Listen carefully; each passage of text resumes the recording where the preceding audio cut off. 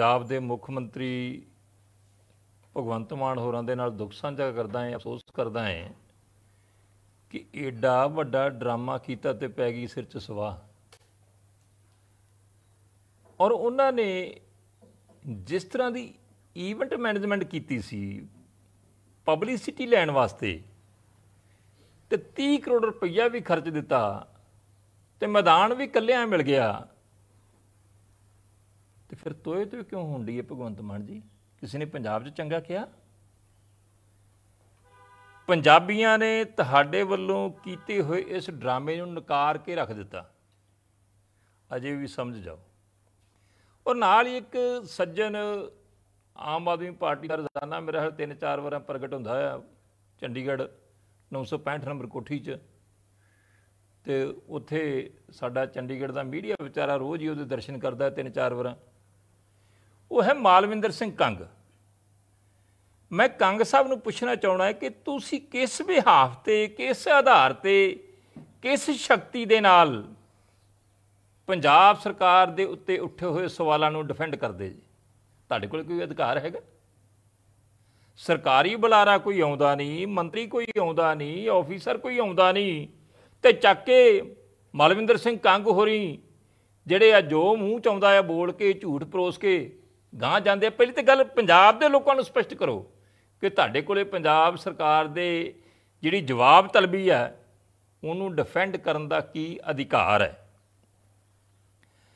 ਔਰ ਦੇਖੋ ਇੱਕ ਬੜੀ ਕੱਲ ਵਾਰ-ਵਾਰ ਰੈਪੀਟੇਸ਼ਨ ਮਿਸਟਰ ਕਾਂਗ ਨੇ ਕੀਤੀ ਕਿ ਸੁਖਬੀਰ ਬਾਦਲ ਨੇ ਸਵੀਕਾਰ ਲਿਆ ਕਿ ਬਾਲਾਸਰ ਫਾਰਮ ਮੇਰਾ ਆ ਤੇ ਗੁੜਗਾਵਾਂ ਹੋਟਲ ਮੇਰਾ। ਹੋਰ ਤੇਰੇ ਪਿਓ ਦਾ ਹੈ? ਉਹਦਾ ਹੀ ਆ, ਉਹ ਅੱਜ ਦਾ ਥੋੜੀ ਕਹਿੰਦਾ ਆ। ਉਹਦੀਆਂ ਤੇ ਇਨਕਮ ਟੈਕਸ ਰਿਟਰਨਾਂ ਦੇ ਵਿੱਚ ਆ, ਫਰਦਾਂ 'ਚ ਆ, ਸਾਰਾ ਕੁਝ ਆ ਔਨ ਰਿਕਾਰਡ ਆ। ਤੂੰ ਤਾਂ ਐ ਜਿਵੇਂ ਹੈਰਾਨੀ ਪ੍ਰਗਟ ਕੀਤੀ ਪੰਜਾਬ ਦੇ ਲੋਕਾਂ ਦੇ ਸਾਹਮਣੇ ਕਿ ਲਓ ਜੀ, ਪਹਿਲੀ ਵਾਰ ਪ੍ਰਗਟਾਵਾ ਹੋਇਆ ਜੀ। ਇਹੋ ਜਿਹੇ ਡਰਾਮੇ ਨਾ ਕਰੋ। ਦੇਖੋ, ਮੈਂ ਸਰ ਸੁਖਬੀਰ ਸਿੰਘ ਬਾਦਲ ਆਪਦੇ ਪ੍ਰਧਾਨ ਸਾਹਿਬ ਦੀ ਇਸ ਗੱਲੋਂ ਸ਼ਲਾਘਾ ਕਰਦਾ ਕਿ ਉਹਨਾਂ ਪਹਿਲੀ ਵਾਰ, ਮੇਰਾ ਖਿਆਲ ਹੈ ਕਿ ਉਹ ਨਾ ਤੇ ਭਗਵੰਤ ਮਾਨ ਵਰਗਿਆਂ ਦੀ ਪ੍ਰਵਾਹ ਕਰਦੇ ਸੀ, ਹੋਰ ਕਿਹੜਾ ਕੀ ਕਹੀ ਜਾਂਦਾ ਹੈ ਕਿਹੜਾ ਕੀ ਕਹੀ ਜਾਂਦਾ ਸੀਗਾ? ਸ਼ੇਰ ਦਿਲ ਬੰਦਾ। ਹਾਂਜੀ? ਪਰ ਜਦੋਂ ਕਹਿੰਦੇ ਹੋ ਕਿ ਪਾਣੀ ਹੱਦਾਂ ਤੋਂ ਟੱਪ ਜੇ ਤੇ ਫਿਰ ਜੇ ਕੁੱਤਾ ਸ਼ੇਰ ਨੂੰ ਛੇੜੀ ਜਾਵੇ ਛੇੜੀ ਜਾਵੇ ਤੇ ਸ਼ੇਰ ਆਖੇ, ਯਾਰ ਚੱਲ ਕੋਈ ਨਹੀਂ, ਕੁੱਤਾ ਆ। ਤੇ ਫਿਰ ਸ਼ੇਰ ਇਹੋ ਜੀ ਦਹਾੜ ਮਾਰਦਾ ਹੁੰਦਾ। ਕੱਲ ਸੁਖਬੀਰ ਸਿੰਘ ਬਾਦਲ ਨੇ ਦਹਾੜ ਮਾਰ ਕੇ ਕਿਹਾ ਕਿ ਭਗਵੰਤ ਮਾਨ ਤਿਆਰ ਹੋ ਜਾ। ਜਾਂ ਤੇ ਜਿਹੜੀਆਂ ਗੱਲਾਂ ਕੀਤੀਆਂ ਇਹ ਪ੍ਰੂਫ ਕਰ। ਤੇ ਜਾਂ ਫਿਰ ਮਾਫੀ ਮੰਗ, ਤੇ ਜਾਂ ਫਿਰ ਤੇਰੇ ਤੇ ਕ੍ਰਿਮੀਨਲ ਕੇਸ ਕਰਾਂਗੇ, ਚਾਹੇ ਉਹ ਬਾਲਾ ਬਾਲਾਸਰ ਫਾਰਮ ਨੂੰ ਲੈ ਕੇ ਹੋਵੇ, ਚਾਹੇ ਬਾਲਾਸਰ ਕਨਾਲ ਨੂੰ ਲੈ ਕੇ ਹੋਵੇ, ਚਾਹੇ ਜੇਲ੍ਹ ਦੇ ਵਿੱਚੋਂ ਸਰ ਪ੍ਰਕਾਸ਼ ਸਿੰਘ ਬਾਦਲ ਨੇ ਚਿੱਠੀਆਂ ਲਿਖੀਆਂ ਸੀ, ਸਰਕਾਰ ਨੂੰ ਕਿ ਐਸਵਾਈਐਲ ਬਣਾ ਦਿਓ। ਹਾਂਜੀ, ਤੇ ਚਾਹੇ ਗੁੜਗਾਵਾਂ ਹੋਟਲ ਨੂੰ ਲੈ ਕੇ ਹੋਵੇ। ਤੇ ਸਾਡੀ ਹੱਥ ਬਨ ਕੇ ਬੇਨਤੀ ਹੈ ਕਿ ਅਸੀਂ ਤੁਹਾਡੇ ਕੋਲੋਂ 4 ਅਕਤੂਬਰ ਤੋਂ ਲੈ ਕੇ ਲਗਾਤਾਰ ਅਸੀਂ ਜਾਂ ਹੋਰ ਵਿਰੋਧੀ ਪਾਰਟੀਆਂ ਜਾਂ ਪੰਜਾਬ ਦੇ ਦਰਦੀ ਲੋਕ, ਭਗਵੰਤ ਮਾਨ ਜੀ ਤੁਹਾਡੇ ਕੋਲੋਂ ਤੇ ਤੁਹਾਡੀ ਸਰਕਾਰ ਕੋਲੋਂ ਜਵਾਬ ਮੰਗਦੇ ਆਂ ਹਾਂਜੀ? ਸਵਾਲ ਵੀ ਕਰ ਲਿਆ ਜੇ, ਸਵਾਲਾਂ ਦੇ ਜਵਾਬ ਵੀ ਦਿੱਤੇ ਐ, ਠੋਕ ਕੇ ਦਿੱਤੇ ਐ। ਉਹ ਪਰ ਮੋਰਿਓ ਜਵਾਬ ਦੇ ਦਿਓ। ਜਵਾਬ ਕਿਉਂ ਨਹੀਂ ਜੀ ਦਿੰਦੇ? ਕਿ 2004 ਦੇ ਟਰਮੀਨੇਸ਼ਨ ਐਕਟ ਨੂੰ ਲੈ ਕੇ ਜਿਹੜਾ ਪ੍ਰੈਜ਼ੀਡੈਂਸ਼ੀਅਲ ਰੈਫਰੈਂਸ ਵਾਸਤੇ ਸੁਪਰੀਮ ਕੋਰਟ 'ਚ ਗਿਆ ਸੀਗਾ, ਤੇ ਸੁਪਰੀਮ ਕੋਰਟ ਨੇ ਸਾਰੀਆਂ ਹੀ ਐਸਵਾਈਐਲ ਦੇ ਨਾਲ ਸੰਬੰਧਿਤ ਧਿਰਾਂ ਕੋਲੋਂ ਆਪੋ ਆਪਣਾ ਪੱਖ ਜਿਹੜਾ ਐਫੀਡੇਵਿਟ ਰਾਹੀਂ ਮੰਗਿਆ ਸੀਗਾ, ਉੱਥੇ ਕੇਜਰੀਵਾਲ ਨੇ ਪੰਜਾਬ ਦੇ ਵਿਰੁੱਧ ਕਿ ਐਸਵਾਈਐਲ ਹਰਿਆਣੇ ਨੂੰ ਮਿਲਣੀ ਚਾਹੀਦੀ ਆ। ਅਜਿਹਾ ਐਫੀਡੇਵਿਟ ਕਿਉਂ ਦਿੱਤਾ ਸੀਗਾ? ਆ, ਉਸ ਆਰਡਰ ਦੀ ਕਾਪੀ ਹੈ, ਜਿਹਦੇ ਵਿੱਚ ਲਿਖਿਆ ਹੈ ਕਿ ਦਿੱਲੀ ਸਰਕਾਰ ਨੇ, ਕੇਜਰੀਵਾਲ ਦੀ ਸਰਕਾਰ ਨੇ ਪੰਜਾਬ ਦੇ ਵਿਰੁੱਧ ਐਫੀਡੇਵਿਟ ਦਿੱਤਾ ਤੇ ਹਰਿਆਣੇ ਦੇ ਹੱਕ 'ਚ ਦਿੱਤਾ ਕਿ ਐਸਓਐਲ ਬਣਨੀ ਚਾਹੀਦੀ, ਆਰਡਰ ਦੇ ਵਿੱਚ ਮੈਂਸ਼ਨ ਹੈ। ਅਗਲੀ ਗੱਲ ਹੈ ਕਿ ਕੇਜਰੀਵਾਲ ਸਾਹਿਬ ਨੇ ਵਾਰ-ਵਾਰ ਰਿਪੀਟਡਲੀ ਕਿਹਾ ਕਿ ਪਾਣੀ ਹਰਿਆਣੇ ਨੂੰ ਮਿਲਣਾ ਚਾਹੀਦਾ ਹੈ। ਭਗਵੰਤ ਮਾਨ ਨੇ ਜਾਂ ਕਿਸੇ ਆਮ ਆਦਮੀ ਪਾਰਟੀ ਦੇ ਵਜ਼ੀਰ ਨੇ ਜਾਂ ਕਿਸੇ ਆਗੂ ਨੇ ਖੰਡਨ ਕੀਤਾ ਤੇ ਸਾਨੂੰ ਦੱਸ ਦਿਓ। ਇੱਕ ਇਹਨਾਂ ਦਾ ਸੁਸ਼ੀਲ ਗੁਪਤਾ ਹਰਿਆਣੇ ਦਾ ਪ੍ਰਧਾਨ ਹੈ। ਉਹ ਕਹਿੰਦਾ ਹੈ ਕਿ ਪੰਜਾਬ 'ਚ ਸਾਡੀ ਸਰਕਾਰ ਹੈ ਤੇ 24 'ਚ ਸਾਡੀ ਹਰਿਆਣੇ 'ਚ ਬਣ ਜਾਣੀ ਹੈ। ਫਿਰ ਕੱਲੀ ਕੱਲੀ ਵੱਟ ਤੇ ਪਾਣੀ ਭੇਜਾਂਗੇ ਐਸਵਾਈਐਲ ਦਾ ਗਾਰੰਟੀ ਦਿੰਨੇ ਆ। ਕੋਈ ਬਿਆਨ ਆਇਆ? ਭਗਵੰਤ ਮਾਨ ਦਾ ਆਇਆ ਜਾਂ ਪਾਰਟੀ ਦਾ ਆਇਆ? ਜਵਾਬ ਦੇ ਦਿਓ।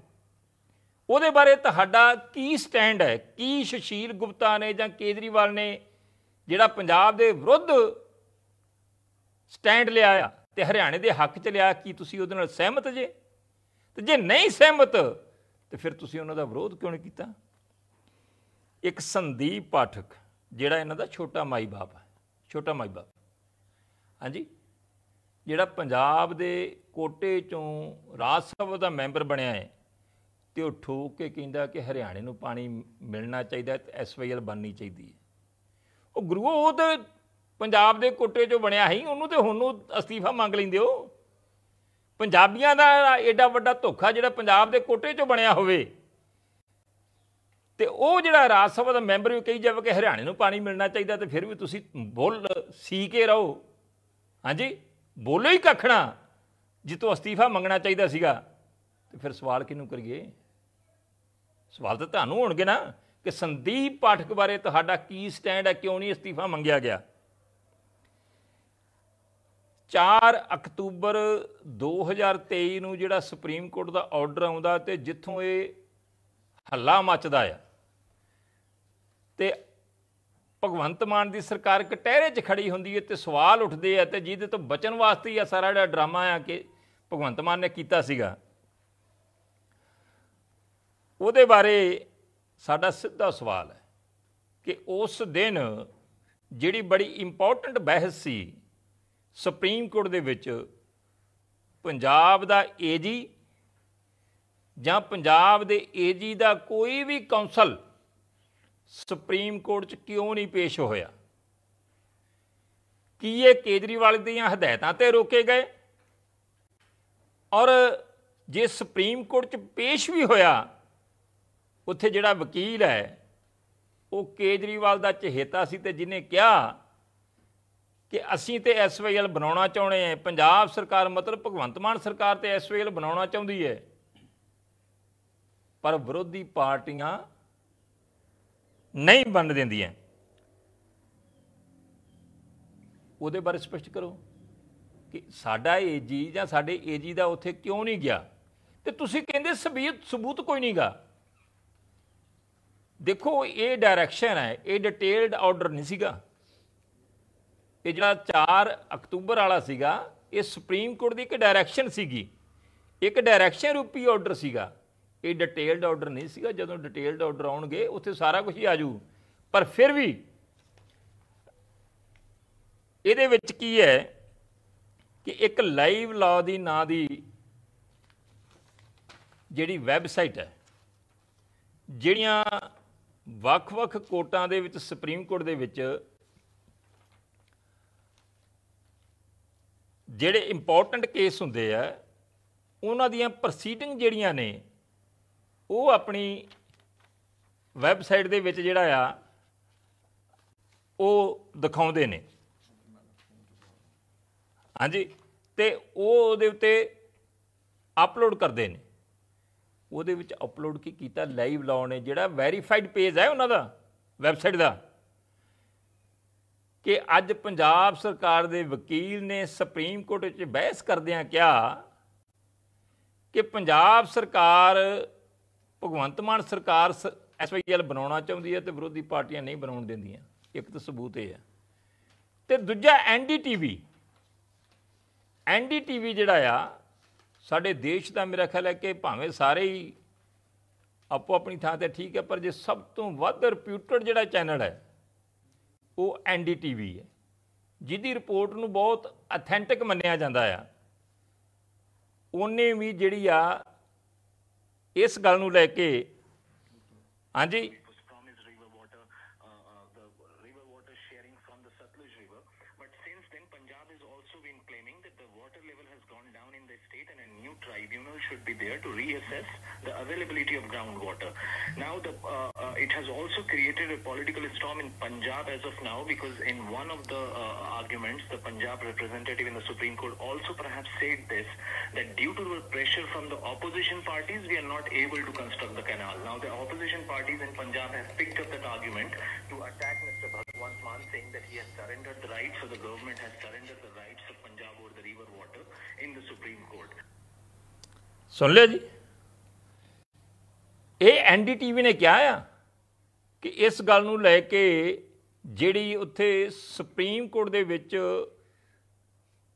ਜਿਹੜਾ ਵੀ ਵਕੀਲ ਪੇਸ਼ ਹੋਇਆ, ਕੇਜਰੀਵਾਲ ਸਾਹਿਬ ਵੱਲੋਂ ਤਾਇਨਾਤ ਕੀਤਾ ਪੇਸ਼ ਹੋਇਆ ਤੇ ਉਹਨੇ ਜਿਹੜਾ ਪੱਖ ਲਿਆ ਪੰਜਾਬ ਵਿਰੋਧੀ ਤੇ ਹਰਿਆਣੇ ਦੇ ਪੱਖ 'ਚ, ਉਹਨੂੰ ਲੈ ਕੇ ਹੁਣ ਬਵਾਲ ਵੀ ਮਚੂਗਾ, ਉਹਨੇ ਪਹਿਲਾਂ ਕਹਿਤਾ। ਔਰ ਆ ਹੈਗਾ ਉਹ ਵੈਬਸਾਈਟ, ਲਾਈਵ ਲਾਅ ਦੀ, ਵੈਰੀਫਾਈਡ ਪੇਜ ਹੈ। ਹਾਂਜੀ, ਇਹਦੇ ਉੱਤੇ ਵੀ ਸਾਰਾ ਕੁਝ ਇਹੀ ਲਿਖਿਆ ਆ। ਤੇ ਸਾਡਾ ਸਵਾਲ ਹੈ, ਸਾਡੇ ਤੇ ਸਵਾਲ ਕਿਉਂ ਉਠਾਉਂਦੇ ਜੇ? ਸਾਡੇ ਤੇ ਵੀ ਉਠਾਉਣੇ, ਜ- ਜੰਮ ਜੰਮ ਕੇ ਉਠਾਓ, ਜੋ ਕਰਨਾ ਸਾਡੇ ਤੇ ਵੀ ਕਰੋ। ਪਰ ਜੇ ਤੁਸੀਂ ਸੱਚੇ ਜੇ, ਤੇ ਫਿਰ ਇਹਨਾਂ ਤੇ ਕੇਸ ਕਿਉਂ ਨਹੀਂ ਜੀ ਕਰਦੇ? ਹਾਂਜੀ, ਜੇ ਤੁਸੀਂ ਸੱਚੇ ਜੇ, ਤੇ ਫਿਰ ਕੇਸ ਕਿਉਂ ਨਹੀਂ ਕਰਦੇ? ਤੇ ਜੇ ਤੁਸੀਂ ਉੱਥੇ ਪੰਜਾਬ ਵਿਰੋਧੀ ਪੱਖ ਲਿਆ ਆ, ਤੁਹਾਡੇ ਵਕੀਲ ਨੇ ਉੱਥੇ ਇਹ ਕਿਹਾ ਆ ਕਿ ਜਿਹੜੀ ਐਸਵਾਈਐਲ ਪੰਜਾਬ ਸਰਕਾਰ ਬਣਾਉਣ ਲਈ ਤਿਆਰ ਹੈ, ਤੇ ਫਿਰ ਪੰਜਾਬ ਦੇ ਲੋਕਾਂ ਤੋਂ ਮਾਫੀ ਮੰਗ ਲੋਗੇ ਸ਼ਾਇਦ ਵੱਡੇ ਹੀ ਹੋ ਜਾਓ। ਮਾਫੀ ਕਿਉਂ ਨਹੀਂ ਜੇ ਮੰਗਦੇ? ਔਰ ਇਸ ਤੋਂ ਇਲਾਵਾ ਆਪਾਂ ਨੂੰ ਸਾਰਿਆਂ ਨੂੰ ਪਤਾ, ਆਪਾਂ ਵੀ ਪ੍ਰੈਸ ਕਾਨਫਰੰਸ ਕਰ ਰਹੇ ਹਾਂ ਨਾ, ਤੁਸੀਂ ਮੇਰੇ ਘਰੇ ਆਏ ਜਣਾ ਤੇ ਮੇਰੇ ਘਰੇ ਤੇ ਉਹੀ ਵੜੂਗਾ ਨਾ ਜਿ- ਜਿਹਨੂੰ ਮੈਂ ਅਲਾਉ ਕਰੂੰਗਾ ਜਾਂ ਜਿਹਨੂੰ ਸੱਦੂੰਗਾ। ਐਸਵਾਈਐਲ ਨੂੰ ਲੈ ਕੇ ਚੱਲੀ ਚਰਚਾ ਦੇ ਦੌਰਾਨ ਕਿ ਐਸਵਾਈਐਲ ਪੰਜਾਬ ਦੇ ਦਰਦੀ ਕਹਿੰਦੇ ਕਿ ਨਹੀਂ ਬੰਨ ਦੇਣੀ, ਨਹੀਂ ਬੰਨ ਦਿੱਤੀ, ਨਹੀਂ ਤੁਪਕਾ ਪਾਣੀ ਦੇਣਾ। ਤੇ ਪੰਜਾਬ ਜਿਹੜੀਆਂ ਹਰਿਆਣੇ ਦੀਆਂ ਧਿਰਾਂ, ਉਹ ਕਹਿੰਦੀਆਂ ਕਿ ਪਾਣੀ ਲੈ ਕੇ ਰਹਾਂਗੇ। ਐਸਵਾਈਐਲ ਬਣਾ ਕੇ ਹਟਾਂਗੇ।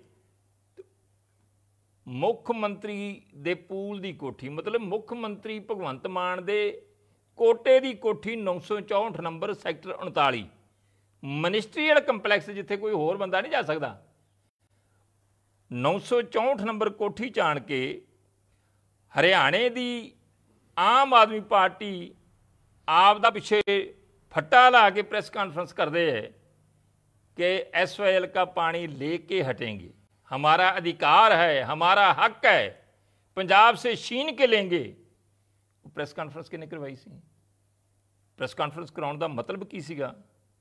ਉਹਦਾ ਅਰਥ ਕੀ ਸੀਗਾ? ਕਾਰਨ ਕੀ ਸੀਗਾ? ਕੀ ਇੱਥੇ ਪੰਜਾਬ ਦੇ ਵਿੱਚ ਹੁਣ ਇੱਥੋਂ ਤੱਕ ਹੋ ਗਿਆ ਕਿ ਪੰਜਾਬ ਦੀਆਂ ਕੋਠੀਆਂ 'ਚ ਬਹਿ ਕੇ ਵੀ ਕੇਜਰੀਵਾਲ ਦੀ ਹਦਾਇਤਾਂ ਦੇ ਉੱਤੇ ਪੰਜਾਬ ਵਿਰੋਧੀ ਪ੍ਰੈਸ ਕਾਨਫਰੰਸਾਂ ਹੋਣਗੀਆਂ ਤੇ ਕੇਜਰੀਵਾਲ ਦੀ ਇੱਛਾ ਦੀ ਪੂਰਤੀ ਲਈ, ਹਾਂਜੀ, ਇੱਥੋਂ ਤੱਕ ਹੋ ਜੂਗਾ ਇਹਦਾ ਜਵਾਬ ਦੇ ਦਿਓ। ਦੇਖੋ, ਇਹਨਾਂ ਨੇ ਇੱਕ ਗੱਲ ਕੀਤੀ ਭਗਵੰਤ ਮਾਨ ਨੇ ਇੱਕ ਤਰੀਕ ਨੂੰ। ਬੜੇ ਡਰਾਮਾਈ ਤਰੀਕੇ ਦੇ ਨਾਲ, ਕਿਉਂਕਿ ਕਲਾਕਾਰ ਆ। ਵੇਖੋ ਜੀ, ਕੁਰਬਾਨੀ ਬਾਦਲ ਸਾਹਿਬ ਤੇ ਜੇਲ੍ਹ ਚੋਂ ਚਿੱਠੀਆਂ ਲਿਖਦੇ ਰਹੇ ਕਿ ਐਸਵਾਈਐਲ ਛੇਤੀ ਬਣਾ ਦਿਓ। ਛੱਡਤਾ ਢੂੜ ਚ ਟੱਟੂ। ਤੇ ਮੇਰਾ ਖਿਆਲ ਕਈ ਚੈਨਲਾਂ ਨੇ ਆ ਨੱਪਤੀ ਕਿੱਲੀ। ਹਾਂਜੀ।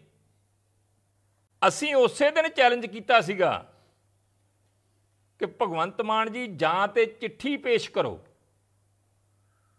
ਤੇ ਜਾਂ ਫਿਰ ਮਾਫੀ ਮੰਗੋ, ਜੇ ਤੁਸੀਂ ਚਿੱਠੀ ਪੇਸ਼ ਕਰ ਦਿੰਦੇ ਜੇ ਅਜੇ ਹੀ ਤੇ ਸ਼੍ਰੋਮਣੀ ਅਕਾਲੀ ਦਲ ਕਟਹਿਰੇ 'ਚ ਖੜਾ ਹੋਊਗਾ ਤੇ ਨਹੀਂ ਤੇ ਤੁਸੀਂ ਮਾਫੀ ਮੰਗੋ ਤੇ ਸਭ ਪ੍ਰਕਾਸ਼ ਸਿੰਘ ਬਾਦਲ ਵੱਲੋਂ ਐਸਵਾਈਐਲ ਨੂੰ ਰੋਕਣ ਵਾਸਤੇ, ਪੰਜਾਬ ਦੇ ਹੱਕਾਂ ਤੇ ਹਿੱਤਾਂ ਦੀ ਲੜਾਈ ਲੜਨ ਵਾਸਤੇ ਉਹਨਾਂ ਦੀ ਪ੍ਰੇਜ਼ ਕਰੋ। ਹੁਣ ਆ ਜਾਈਏ ਜੀ ਅੱਗੇ।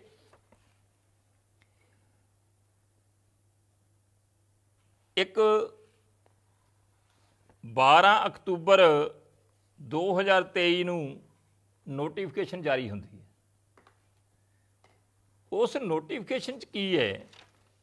ਤੁਸੀਂ ਦੇਖੋ ਜਿਹੜਾ ਸੁਪਰੀਮ ਕੋਰਟ ਨੇ ਹੁਕਮ ਕੀਤਾ ਹੈ ਨਾ, ਸਰਵੇ ਕਰਵਾਇਆ ਜਾਵੇ 4 ਅਕਤੂਬਰ ਨੂੰ। ਤੇ 12 ਅਕਤੂਬਰ ਨੂੰ ਇੱਕ ਹਫ਼ਤੇ ਬਾਅਦ ਪੰਜਾਬ ਸਰਕਾਰ ਨੋਟੀਫਿਕੇਸ਼ਨ ਜਾਰੀ ਕਰਦੀ ਹੈ, ਜਿਹਦੇ ਵਿੱਚ ਕਹਿੰਦੀ ਹੈ ਕਿ ਐਸਵਾਈਐਲ ਕਨਾਲ ਸਰਵੇ ਹੁਣ ਐਸਵਾਈਐਲ ਜਦੋਂ ਹੈ ਹੀ ਨਹੀਂ, ਬਣ ਨਹੀਂ ਦੇਣੀ ਤੇ ਫਿਰ ਸਰਵੇ ਕਿਉਂ ਕਰਵਾ ਰਹੇ ਜੇ? ਕੀ ਤੁਸੀਂ ਕੇਜਰੀਵਾਲ ਦੀਆਂ ਜਿਹੜੀਆਂ ਇੱਛਾਵਾਂ ਨੇ, ਉਹਨਾਂ ਦੀ ਪੂਰਤੀ ਲਈ ਜਿਹੜਾ ਉਹਨੇ ਉੱਥੇ ਪੰ- ਪੰਜਾਬ ਦਾ ਕੇਸ ਕਮਜ਼ੋਰ ਕਰਕੇ ਸੁਪਰੀਮ ਕੋਰਟ ਤੋਂ ਡਾਇਰੈਕਸ਼ਨ ਦਵਾਈ, ਉਹਨੂੰ ਲਾਗੂ ਕਰਨ ਵਾਸਤੇ ਤੁਸੀਂ ਇਹ ਐਸਵਾਈਐਲ ਕਨਾਲ ਸਰਵੇ ਨਹੀਂ ਰੱਖਿਆ? ਉਹ ਪਤਾ ਕਾਲਾ ਮਾਲਾ ਕੀ ਕੀਤਾ, ਕਿਤੇ ਤਨਖਾਹਾਂ ਦਾ ਪੋਰਟਲ ਬਣਾਇਆ? ਵੀ ਤਨਖਾਹਾਂ ਦਾ ਲੇਖਾ ਜੋਖਾ ਦੇ ਦਿਓ, ਫਲਾਣਾ ਲੇਖਾ ਜੋਖਾ ਦੇ ਦਿਓ 32 ਨੰਬਰ ਤੇ ਜਾ ਕੇ ਲੁਕਵੇਂ ਤਰੀਕੇ ਦੇ ਨਾਲ ਐਸਵੀਐਲ ਕਨਾਲ ਦਾ ਸਰਵੇ ਵਾੜਤਾ। ਮਤਲਬ ਤੇ ਇਹੀ ਗੱਲਾਂ ਸੀਗਾ ਇਹਦਾ ਜਵਾਬ ਦੇ ਦਿਓ ਕਿ ਇਹ ਨੋਟੀਫਿਕੇਸ਼ਨ ਜਾਰੀ ਕਿਉਂ ਹੋਇਆ? ਤੁਸੀਂ ਕਹਿੰਦੇ ਜੀ, ਅਸੀਂ ਕਲਾਸਾਂ ਲਾਉਣੀਆਂ ਸੀ। ਕਿੱਥੇ ਲਿਖਿਆ ਕਲਾਸਾਂ? ਤੇ ਕਲਾਸਾਂ ਲਾ ਕੇ ਮੋਰਿਓ ਕਰਨਾ ਕੀ ਜੇ? ਹਾਂਜੀ ਐਸਵੀਐਲ ਦੇ ਕਾਹਦੀਆਂ ਕਲਾਸਾਂ ਜੀ? ਫਿਰ ਸਰਵੇ ਦੀਆਂ ਕਲਾ ਕਾਹਦੀਆਂ ਕਲਾਸਾਂ ਜੀ? ਹਾਂਜੀ ਉਹ ਤੁਹਾਡੀ ਨੋਟੀਫਿਕੇਸ਼ਨ ਜਾਂ ਤਾਂ ਤੁਸੀਂ ਵਾਪਸ ਲਈਏ ਤੇ ਤਾਂ ਦੱਸ ਦਿਓ। ਨੋਟੀਫਿਕੇਸ਼ਨ ਅੱਜ ਵੀ ਸਟੈਂਡ ਕਰਦੀ ਹੈ। ਹੋ ਸਕਦਾ ਹੈ ਕਿ ਅੰਦਰ ਖਾਤੇ ਐਸਵੀਐਲ ਦਾ ਸਰਵੇ ਵੀ ਚੱਲ ਰਿਹਾ ਹੋਵੇ ਤੇ ਪੰਜਾਬ ਨੂੰ ਉਦੋਂ ਹੀ ਪਤਾ ਲੱਗੇ ਜਦੋਂ ਸੁਪਰੀਮ ਕੋਰਟ ਦੇ ਵਿੱਚ ਜਾ ਕੇ ਉਹ ਐਸਵੀਐਲ ਸਰਵੇ ਦੀ ਰਿਪੋਰਟ ਜਿਹੜੀ ਹੈ ਕੇਜਰੀਵਾਲ ਦੇ ਕਹਿਣ ਤੇ ਸਬਮਿਟ ਕਰ ਦਿੱਤੀ ਜਾਵੇ। ਜਿਹੜੀ ਕਿ ਪੰਜਾਬ ਲਈ ਜਿੱਥੇ ਦਰਬਾਰਾ ਸਿੰਘ ਵਰਗਿਆਂ ਨੇ, ਗਿਆਨੀ ਜੈਲ ਸਿੰਘ ਵਰਗਿਆਂ ਨੇ ਕੰਡੇ ਬੀਜੇ ਆ, ਉੱਥੇ ਫਿਰ ਕੇਜਰੀਵਾਲ ਤੇ ਭਗਵੰਤ ਮਾਨ ਵੀ ਅੱਗੇ ਵੀ ਉਸੇ ਲਾਈਨ ਤੇ ਚੱਲ ਰਹੇ ਆ। ਫਿਰ ਉਸੇ ਹੀ ਕਤਾਰ 'ਚ ਤੇ ਜੇ ਇਹ ਖੜ ਜਾਣਗੇ। ਇੱਕ ਦੇਖੋ, ਕੇਜਰੀਵਾਲ ਦੀ ਮਨਸ਼ਾ ਪਤਾ ਕੀ ਹੈ? ਕੇਜਰੀਵਾਲ ਦੀ ਮਨਸ਼ਾ ਇਹ ਆ ਕਿ ਮੈਂ ਸੁਪਰੀਮ ਕੋਰਟ 'ਚ ਅਜਿਹਾ ਮਾਹੌਲ ਸਿਰਜਦਾ ਕਿ ਸੁਪਰੀਮ ਕੋਰਟ ਹੀ ਅਜਿਹਾ ਸਖਤ ਹੁਕਮ ਕਰ ਦਵੇ ਕਿ ਪੰਜਾਬ ਦੇ ਵਿੱਚ ਫੌਜ ਲਾ ਕੇ ਜਾਂ ਪੈਰਾਮਿਲਟਰੀ ਫੋਰਸ ਲਾ ਕੇ ਜਿਹੜੀਆਂ ਵੀ ਸ਼ਕਤੀਆਂ ਰੋਕਣ ਦੀ ਕੋਸ਼ਿਸ਼ ਕਰਦੀਆਂ, ਨੱਪ ਕੇ ਉਹਨਾਂ ਨੂੰ, ਇਸ ਵੇਲੇ ਬਣਾਈ ਜਾਵੇ ਤੇ ਅਸੀਂ ਕਹਿ ਦਈਏ ਸਾਡੇ ਤੇ ਹੱਥ ਬੰਨੇ ਆ ਜੀ। ਇਹ ਤਾਂ ਸੁਪਰੀਮ ਕੋਰਟ ਦਾ ਹੁਕਮ ਹੈ ਜੀ। ਸਾਨੂੰ ਤੇ ਇਹਦੀ ਪੂਰਤੀ ਕਰਨੀ ਪੈਣੀ ਹੈ ਜੀ। ਤੇ ਆ ਤੁਸੀਂ ਇਹਨਾਂ ਦਾ ਬੁਲਾਰਾ ਆ ਅਹਿਬਾਬ ਗਰੇਵਾਲ। ਹਾਂਜੀ, ਇਹਨਾਂ ਦਾ ਮੇਨ ਲੀਡਰ ਹੈ। ਉਹਨੂੰ ਜਦੋਂ ਅਜਿਹਾ ਸਵਾਲ ਕੀਤਾ ਕਿ ਸੁਪਰੀਮ ਕੋਰਟ ਅਜਿਹਾ ਕਰ ਰਿਹਾ ਹੈ ਮੇਰੀ ਗੱਲ ਸੁਣ ਇੱਕ ਮਿੰਟ ਗੱਲ ਸੁਣੋ ਬਈ ਇੱਕ ਮਿੰਟ ਸੁਪਰੀਮ ਕੋਰਟ ਇੱਕ ਆਰਡਰ ਦਿੰਦਾ ਰਾਈ ਤੁਸੀਂ ਸਿਆਣੇ ਹੋ ਠੀਕ ਹੈ ਸੁਪਰੀਮ ਕੋਰਟ ਇੱਕ ਆਰਡਰ ਦਿੰਦਾ ਤੁਸੀਂ ਸੁਪਰੀਮ ਕੋਰਟ ਦੀ ਆਵਾਜ਼ ਕਰ ਸਕਦੇ ਹੋ ਤੁਸੀਂ ਕਹਿ ਸਕਦੇ ਹੋ ਕਿ ਅਸੀਂ ਸੁਪਰੀਮ ਕੋਰਟ ਦੀ ਗੱਲ ਨਹੀਂ ਬੀਜੇਪੀ ਕਹਿ ਸਕਦੀ ਅਸੀਂ ਨਹੀਂ ਕਹਿ ਸਕਦੇ ਜੀ ਅਸੀਂ ਸੁਪਰੀਮ ਕੋਰਟ ਦੀ ਗੱਲ ਸੁਣਾਂਗੇ ਪਰ ਸਾਡਾ ਸਟੈਂਡ ਕਲੀਅਰ ਹੈ ਸਾਡੇ ਕੋਲ ਪਾਣੀ ਦੇਣ ਨੂੰ ਹੈ ਨਹੀਂ? ਸਾਡੇ ਕੋਲ ਇੱਕ ਬੂੰਦ ਹੈ। ਥੈਂਕ ਯੂ ਉਹ sir ji supreme sir ji ਅਸੀਂ ਕਾਨੂੰਨ ਦਾ ਪਾਲਣ ਕਰਦੇ ਹਾਂ। ਅਸੀਂ ਕਾਨੂੰਨ ਦੀ ਇੱਜ਼ਤ ਕਰਦੇ ਹਾਂ। ਪੀਰੀਅਡ ਥੈਂਕ ਯੂ ਆ ਜੇ ਕੇਜਰੀਵਾਲ ਦੀ ਭਾਸ਼ਾ। ਸਮਝ ਗਏ ਕਿ ਨਹੀਂ? ਅਸੀਂ ਸੁਪਰੀਮ ਕੋਰਟ ਦੇ ਹੁਕਮ ਦੀ ਪਾਲਣਾ ਕਰਦੇ 2002 ਦੇ ਵਿੱਚ ਵੀ ਭਾਵੇਂ ਕਿ ਉਦੋਂ ਅਜੇ ਸਰਕਾਰ ਜਿਹੜੀ ਸ਼੍ਰੋਮਣੀ ਅਕਾਲੀ ਦਲ ਦੀ ਚੋਣਾਂ ਦੇ ਵਿੱਚ ਸੀਗੀ ਹੁਕਮ ਆਇਆ ਸੀਗਾ ਤੇ ਸਭ ਪ੍ਰਕਾਸ਼ ਸਿੰਘ ਬਾਦਲ ਨੇ ਕਹਿਤਾ ਸੀਗਾ ਕਿ ਪੰਜਾਬ ਦੀ ਧਰਤੀ ਤੇ ਇਸ ਵੇਲੇ ਨਹੀਂ ਬਣੂਗੀ ਔਰ ਕੋ- ਅ, ਜਿਹੜਾ ਕੰਟੈਂਪਟ ਆਫ ਕੋਰਟ ਹੋਈ ਸੀ ਉਹਨਾਂ ਦੇ ਉੱਤੇ। ਠੋਕ ਕੇ ਜਵਾਬ ਦਿੱਤਾ ਸੀਗਾ। 2016 ਦੇ ਵਿੱਚ ਆਇਆ। ਐਸਵਾਈਐਲ ਦਾ ਮੁੱਦਾ ਹੀ ਖਤਮ ਕਰਤਾ। ਜ਼ਮੀਨ ਡੀ ਨੋਟੀਫਾਈ ਕਰਤੀ। ਇਹ ਹੁੰਦੀ ਜੁਰਤ। ਇਹ ਕਹਿੰਦੇ ਆ ਜੀ ਸੁਪਰੀਮ ਕੋਰਟ ਦਾ ਹੁਕਮ ਆਊਗਾ ਤੇ ਅਸੀਂ ਮੰਨਾਂਗੇ ਜੀ। ਇਹਦਾ ਤਾਂ ਮਤਲਬ ਸੁਪਰੀਮ ਕੋਰਟ ਤੇ ਤੁਰਿਆ ਹੋਇਆ ਹੈ ਇਸ ਪਾਸੇ ਨੂੰ। ਤੇ ਤੁਸੀਂ ਕਿਵੇਂ ਕਹਿੰਦੇ ਜੇ ਕਿ ਅਸੀਂ ਐਸਵਾਈਐਲ ਨਹੀਂ ਬਣਾਉਣਾ ਚਾਹੁੰਦੇ? ਹਾਂਜੀ ਇਸ ਗੱਲ ਦਾ ਜਵਾਬ ਦੇ ਦਿਓ ਕਿ ਅਹਿਬਾਬ ਗਰੇਵਾਲ ਦੀ ਜਿਹੜੀ ਸਟੇਟਮੈਂਟ ਹੈ ਜਿਹੜਾ ਉਹਨਾਂ ਦਾ ਅਫੀਸ਼ੀਅਲ ਬੁਲਾਰਾ ਆ, ਉਹਨੇ ਕਿਸੇ ਆਧਾਰ ਤੇ ਦਿੱਤੀ ਆ ਨਾ। ਇਹੀ ਬੁਲਾਰਾ ਜਿਸ ਦਿਨ ਸੁਪਰੀਮ ਕੋਰਟ ਨੇ ਐਸਵੀਐਲ ਕਨਾਲ ਸਰਵੇ ਦਾ ਹੁਕਮ ਕੀਤਾ ਸੀਗਾ, ਇਹ ਕੱਛਾਂ ਵਜਾਉਂਦਾ ਸੀ, ਕਹਿੰਦਾ ਸੀ, ਅਸੀਂ ਵੈਲਕਮ ਕਰਦੇ ਹਾਂ ਜੀ। ਅਸੀਂ ਵੈਲਕਮ ਕਰਦੇ ਹਾਂ, ਜਿਹੜਾ ਐਸਵੀਐਲ ਕਨਾਲ ਦਾ ਸਰਵੇ ਦਾ ਹੁਕਮ ਕੀਤੇ ਹੈ ਹੁਣ ਮੈਨੂੰ ਇੱਕ ਭਗਵੰਤ ਮਾਨ ਨੂੰ ਸਵਾਲ ਹੈ ਤੇ ਆਮ ਆਦਮੀ ਪਾਰਟੀ ਨੂੰ ਸਵਾਲ ਹੈ ਕਿ ਇੱਕ ਚਰਚਾ ਚੱਲਦੀ ਹੈ ਕਿ ਭਗਵੰਤ ਮਾਨ ਨੇ ਕੇਜਰੀਵਾਲ ਦੇ ਨਾਲ ਇੱਕ ਅਨਰਿਟਨ ਅਣਲਿਖਤ ਸਮਝੌਤਾ ਕੀਤਾ ਆ, ਜਿਹੜੀ ਮਨਸ਼ਾ ਬੜੇ ਸਮੇਂ ਤੋਂ ਏਜੰਸੀਆਂ ਦੀ ਰਹੀ ਹੈ, ਪੰਜਾਬ ਵਿਰੋਧੀ ਤਾਕਤਾਂ ਦੀ ਰਹੀ ਹੈ, ਪਰ ਪੰਜਾਬ ਹਮੇਸ਼ਾ ਆਰਥਿਕ ਤੌਰ ਤੇ ਮਜ਼ਬੂਤ ਰਿਹਾ ਤੇ ਕੇਜਰੀਵਾਲ ਉਸ ਮੰਸ਼ਾ ਨੂੰ ਪੂਰੀ ਕਰਨ ਲਈ, ਏਜੰਸੀਆਂ ਦੇ ਉਸ ਏਜੰਡੇ ਨੂੰ ਪੂਰਾ ਕਰਨ ਲਈ, ਪੰਜਾਬ ਵਿਰੋਧੀ ਉਸ ਸੋਚ ਨੂੰ ਪੂਰਾ ਕਰਨ ਲਈ ਕੇਜਰੀਵਾਲ ਦੇ ਨਾਲ ਇੱਕ ਅਨਰਿਟਨ ਕੇਜਰੀਵਾਲ ਜਿਹੜਾ ਭਗਵੰਤ ਮਾਨ ਦੇ ਨਾਲ, ਜਿਹੜਾ ਭਗਵੰਤ ਮਾਨ ਨੇ ਕੇਜਰੀਵਾਲ ਦੇ ਨਾਲ ਅਨਰਿਟਨ ਜਿਹੜਾ ਸਮਝੌਤਾ ਕੀਤਾ ਆ। ਕਿ ਲੈ ਕੇਜਰੀਵਾਲ ਜੀ, ਤੁਹਾਡਾ ਆਸ਼ੀਰਵਾਦ ਚਾਹੀਦਾ, ਮੈਨੂੰ ਕੁਰਸੀ ਤੇ ਰੱਖਿਆ ਜੇ ਪੰਜਾਬ ਨੂੰ ਬਰਬਾਦ ਕਰ ਦੂੰ ਆਰਥਿਕ ਤੌਰ ਤੇ ਨਹੀਂ ਉੱਠਣ ਦਿੰਦਾ। 50000 ਕਰੋੜ ਰੁਪਏ ਦਾ ਇੱਕ ਸਾਲ ਦੇ ਵਿੱਚ ਕਰਜ਼ਾ ਦੱਸ ਦਿਓ ਕਿੱਥੇ ਜਾਵਾਂਗੇ ਬੋੜੀ ਰੱਬ ਦੀ। ਕੀਤਾ ਤੁਸੀਂ ਕੱਖ ਨਹੀਂਗਾ ਸਵਾਏ ਪੀਆਰ ਇਵੈਂਟ ਤੋਂ ਇਲਾਵਾ ਕੁਝ ਕੀਤਾ ਤੇ ਦੱਸ ਦਿਓ, ਜਿਹੜੀ ਇੱਥੇ ਰਣਜੀਤ ਐਵਨਿਊ, ਜਿਹੜੀ ਰੈਲੀ ਹੋਈ ਸੀਗੀ, ਜਿਹਦੇ ਵਿੱਚ 700 ਤੋਂ ਵੱਧ ਬੱਸਾਂ ਲਿਆਂਦੀਆਂ ਗਈਆਂ ਤੇ ਇੱਥੇ ਖਰਚੇ ਕੀਤੇ ਗਏ, ਹੋਰ ਕੀਤੇ ਗਏ, ਪੰਡਾਲ ਦੇ ਮੇਰਾ ਖਿਆਲ ਪਤਾ ਨਹੀਂ ਇਹ ਉਹਦੇ ਉੱਤੇ ਕਰੋੜਾਂ ਲਾਤੇ ਹੋਣੇ ਆ। ਉਹ ਕਿਹਦਾ ਖਰਚਾ ਸੀਗਾ? ਜਿਹੜਾ ਪਟਿਆਲੇ ਦੇ ਵਿੱਚ ਕੀਤਾ, ਜਿਹਦੇ 1350 ਬੱਸਾਂ ਜਿਹੜੀਆਂ ਲਾਈਆਂ ਗਈਆਂ। ਹਾਂਜੀ 10000 ਵੀ ਬੱਸ ਦਾ ਲਾਓ, ਕਿੱਥੋਂ ਤੱਕ ਜਾਂਦੀ ਗੱਲ? ਪਹਿਲੋਂ ਲੌਂਗੋਵਾਲ, ਫਿਰ ਬੱਬਕ ਵਾਲੇ, ਜਿੰਨੀਆਂ ਰੈਲੀਆਂ ਆ, ਸਾਰੀਆਂ ਸਰਕਾਰੀ ਖਰਚੇ ਤੇ। ਹਾਂਜੀ, ਉਹਦੇ 'ਚ ਮਤਲਬ ਕੀ ਹੈ ਕਿ ਕੇਜਰੀਵਾਲ ਨੂੰ ਪ੍ਰਮੋਟ ਕਰਨਾ। ਹੈਲੀਕਾਪਟਰ ਦੀਆਂ ਗੇੜੀਆਂ ਮੋਰੇ, ਤੁਸੀਂ ਤਾਂ ਘੁੜਕੇ ਤੋਂ ਵੱਧ ਬਣਾਤਾ। ਹਾਂਜੀ, ਇਹਨਾਂ ਤਾਂ ਮੇਰਾ ਖਿਆਲ ਮਾਤਰ ਵਿਚਾਰਾ ਘੁੜਕੇ ਦੀ ਵਰਤੋਂ ਨਹੀਂ ਕਰਦਾ, ਜਿੰਨੀ ਤੁਸੀਂ ਹੈਲੀਕਾਪਟਰ ਦੀ ਕਰਦੇ ਜੇ। ਕੀ ਉਹ ਮੁਫਤ ਚੱਲਦਾ ਹੈ? ਕੀ ਉਹ ਪਾਣੀ ਨਾਲ ਚੱਲਦਾ ਹੈ? ਕੀ ਉਹਦਾ ਕੋਈ ਖਰਚਾ ਨਹੀਂ? ਚੱਕੋ ਜੀ, ਕੇਜਰੀਵਾਲ ਸਾਹਿਬ ਨੂੰ ਹੈਲੀਕਾਪਟਰ ਤੇ ਇੱਥੇ ਲੈ ਕੇ ਜਾਓ। ਚਾਰਟਰਡ ਜਹਾਜ਼, ਅਸੀਂ ਨਹੀਂ ਕਦੀ ਸੁਣੇ ਚਾਰਟਰਡ ਜਹਾਜ਼ ਪੰਜਾਬ ਸਰਕਾਰ ਨੇ ਵਰਤੇ ਹੋਣ। ਹੁਣ ਚਾਰਟਰਡ ਜਹਾਜ਼ਾਂ ਤੇ ਕਦੀ ਛੱਤੀਸਗੜ੍ਹ, ਕਦੀ ਮੱਧ ਪ੍ਰਦੇਸ਼ ਤੋਂ ਕਦੀ ਪਤਾ ਨਹੀਂ ਕਿੱਥੇ ਕਿੱਥੇ ਬੰਬੇ ਗ- ਗੋਆ, ਜਿਹੜਾ ਕੇਜਰੀਵਾਲ ਸਾਹਿਬ ਨੂੰ ਪਹਿਲੋਂ ਚਾਰਟਰਡ ਹਵਾਈ ਜਹਾਜ਼ ਚੰਡੀਗੜ੍ਹ ਆਉਂਦਾ ਆ, ਤੇ ਚੰਡੀਗੜ੍ਹੋਂ ਫਿਰ ਦਿੱਲੀ ਜਾਂਦਾ ਆ ਤੇ ਦਿੱਲੀੋਂ ਗਾਂਹ ਜਾਂਦਾ ਆ। ਉਥੋਂ ਕੰਮ ਕਰ ਕਰਕੇ ਤੇ ਫਿਰ ਜਿਹੜਾ ਵਾਪਸ ਦਿੱਲੀ ਛੱਡ ਕੇ ਕੇਜਰੀਵਾਲ ਨੂੰ ਘਰੇ ਤੇ ਡਰਾਈਵਰ ਸਾਹਿਬ ਲੈ ਕੇ ਫਿਰ ਚੰਡੀਗੜ੍ਹ ਆ ਜਾਂਦੇ ਆ। ਉਹ ਮੁਫਤ ਚੱਲਦਾ। ਚਾਰਟਰਡ ਜਹਾਜ਼ ਦਾ ਰੋਜ਼ ਦਾ ਕਰੋੜਾਂ ਦਾ ਖਰਚਾ ਹੈ। ਤੇ ਰੋਜ਼ ਹੀ ਚੱਲਦੇ ਆ। ਔਰ ਜਿੱਥੇ ਅੱਜ ਵੀ ਛੱਤੀਸਗੜ੍ਹ ਚ ਆ ਮੇਰਾ ਖਿਆਲ। ਹਾਂਜੀ? ਤੇ ਜਿੱਥੇ ਵੀ ਜਾਂਦੇ ਆ ਫਿਰ ਫੌਜ ਸਾਰੀ ਜਿਹੜੀ ਕੇਜਰੀਵਾਲ ਦੀ, ਭਗਵੰਤ ਮਾਨ ਦੀ ਜਿੰਨੀ ਪਾਰਟੀ ਹੈ, ਉਹ 5 ਸਟਾਰਾਂ 'ਚ ਤੇ 7 ਸਟਾਰਾਂ 'ਚ ਠਹਿਰਦੀ ਹੈ। ਉਹਦਾ ਖਰਚਾ ਜਿਹੜਾ ਉਹ ਦੱਸਦੇ 'ਚ ਕਿੱਥੋਂ ਆਉਂਦਾ ਹੈ। ਇਸ਼ਤਿਹਾਰਬਾਜ਼ੀ ਤੇ 1000 ਕਰੋੜ। 1000 ਕਰੋੜ ਰੁਪਈਆ ਇਸ਼ਤਿਹਾਰਬਾਜ਼ੀ ਤੇ ਕੱਲੀ ਤੇ। ਹਾਂਜੀ, ਇੱਕ ਸਾਲ ਦੇ ਵਿੱਚ। ਇੱਕ ਸਾਲ ਦੇ ਵਿੱਚ। ਮੇਰਾ ਖਿਆਲ ਹੈ ਕਿ ਕਾਲੀ ਸਰਕਾਰ ਸ ਮੈਨੂੰ ਜਿਸ ਤੱਕ ਯਾਦ ਹੈ ਕਿ 25 ਕਿ 30 ਕਰੋੜ ਹੁੰਦਾ ਸੀਗਾ। ਉਹ ਵੀ ਸਾਰਾ ਨਹੀਂ ਖਰਚਦੇ। ਇਹ ਤੇ 1000 ਕਰੋੜ ਦੇ ਨਾਲ ਰੱਖਿਆ ਤੇ ਪਤਾ ਨਹੀਂ ਮੌਰਿਆਂ ਨੇ ਜਾਣਾ ਗਾਂ ਕਿੱਥੋਂ ਤੱਕ ਹੈ ਉਹ ਤੇ ਐਸਟੀਮੇਟ ਹੀ ਹੈ ਨਾ। ਇਸ ਕਰਕੇ ਹੋਰ ਜਿਹੜੀਆਂ ਇਹਨਾਂ ਨੇ ਅੱਤ ਚੁੱਕੀ ਆ, ਉਹਦੀ ਉਹਦੀ ਕਿਹੜੀ ਗੱਲ ਕਰੀਏ? ਹੁਣ ਇਹਨਾਂ ਨੇ ਇੱਕ ਸਵਾਲ ਉਠਾਇਆ ਕਿ 1998 ਦੇ ਵਿੱਚ ਬਾਦਲ ਸਰਕਾਰ ਨੇ ਭਾਖੜਾ ਮੇਨ ਬ੍ਰਾਂਚ ਦੀ ਰੀਲਾਈਨਿੰਗ ਕਰਵਾਈ ਸੀ 45 ਕਰੋੜ ਰੁਪਏ ਨਾਲ। ਕਰਵਾਈ ਸੀ। ਨਹਿਰਾਂ ਦਾ ਚੱਲਦਾ ਰਹਿੰਦਾ ਕੰਮ, ਨਹਿਰਾਂ ਦਾ ਸੁਧਾਰ, ਨਹਿਰਾਂ ਦੇ ਵਿੱਚ ਜਿਹੜੀ ਕੋਈ ਦਿੱਕਤ ਆਉਂਦੀ ਹੈ, ਉਹਦੇ ਵਾਸਤੇ ਚੱਲਦਾ ਹੈ, ਸਰਕਾਰਾਂ ਦਾ ਫਰਜ਼ ਬਣਦਾ ਹੈ। ਹੁਣ ਮੇਰਾ ਸਵਾਲ ਹੈ, ਭਗਵੰਤ ਮਾਨ ਸਰਕਾਰ ਨੂੰ ਔਰ ਹਰਪਾਲ ਸਿੰਘ ਚੀਮੇ ਨੂੰ, ਜਿਹੜੇ ਸਾਡੇ ਵਿੱਤ ਮੰਤਰੀ ਨੇ, ਕਿ ਜਿਹੜਾ ਰਾਜਸਥਾਨ ਫੀਡਰ ਹੈ ਉਹ ਪਾਣੀ ਕਿਹਨੂੰ ਦਿੰਦਾ ਹੈ? ਰਾਜਸਥਾਨ ਨੂੰ ਦਿੰਦਾ ਹੈ ਨਾ? ਤੇ ਰਾਜਸਥਾਨ ਫੀਡਰ ਦੀ ਰੀਲਾਈਨਿੰਗ ਜਿਹੜੀ ਭਾਖੜਾ ਦੀ 1998 ਚ ਹੋਈ ਸੀ, ਉਹਦੀ ਜਿਹੜੀ ਰੀਲਾਈਨਿੰਗ ਆ, ਜਿਹਦੇ ਵਾਸਤੇ ਤੁਸੀਂ 2022 ਦੇ ਵਿੱਚ 27 ਜੂਨ ਨੂੰ ਜਿਹੜਾ ਬਾਈਟ ਪੇਸ਼ ਕੀਤਾ ਸੀਗਾ 2022 ਦੇ ਵਿੱਚ, ਉਹਦੇ ਚ 780 ਕਰੋੜ ਦਾ ਬਾਈਟ ਰੱਖਿਆ ਕਿ ਨਹੀਂ ਰੱਖਿਆ? ਤਾਂ ਕਾਰਨ ਕੀ ਹੈ? 752 ਕਿਊਸਕ ਪਾਣੀ ਜਿਹੜਾ ਆ, ਰਾਜਸਥਾਨ ਨੂੰ ਵੱਧ ਦੇਣਾ ਹੈ। ਆ ਉਸ ਬਾਈਟ ਦੀ ਕਾਪੀ ਦਾ ਬਾਹਰਲਾ ਹਿੱਸਾ ਹੈ। ਤੇ ਆ ਜਿਹੜਾ ਆ, ਉਹਦਾ ਅੰਦਰਲਾ 780 ਕਰੋੜ ਵਾਲਾ ਹੈ।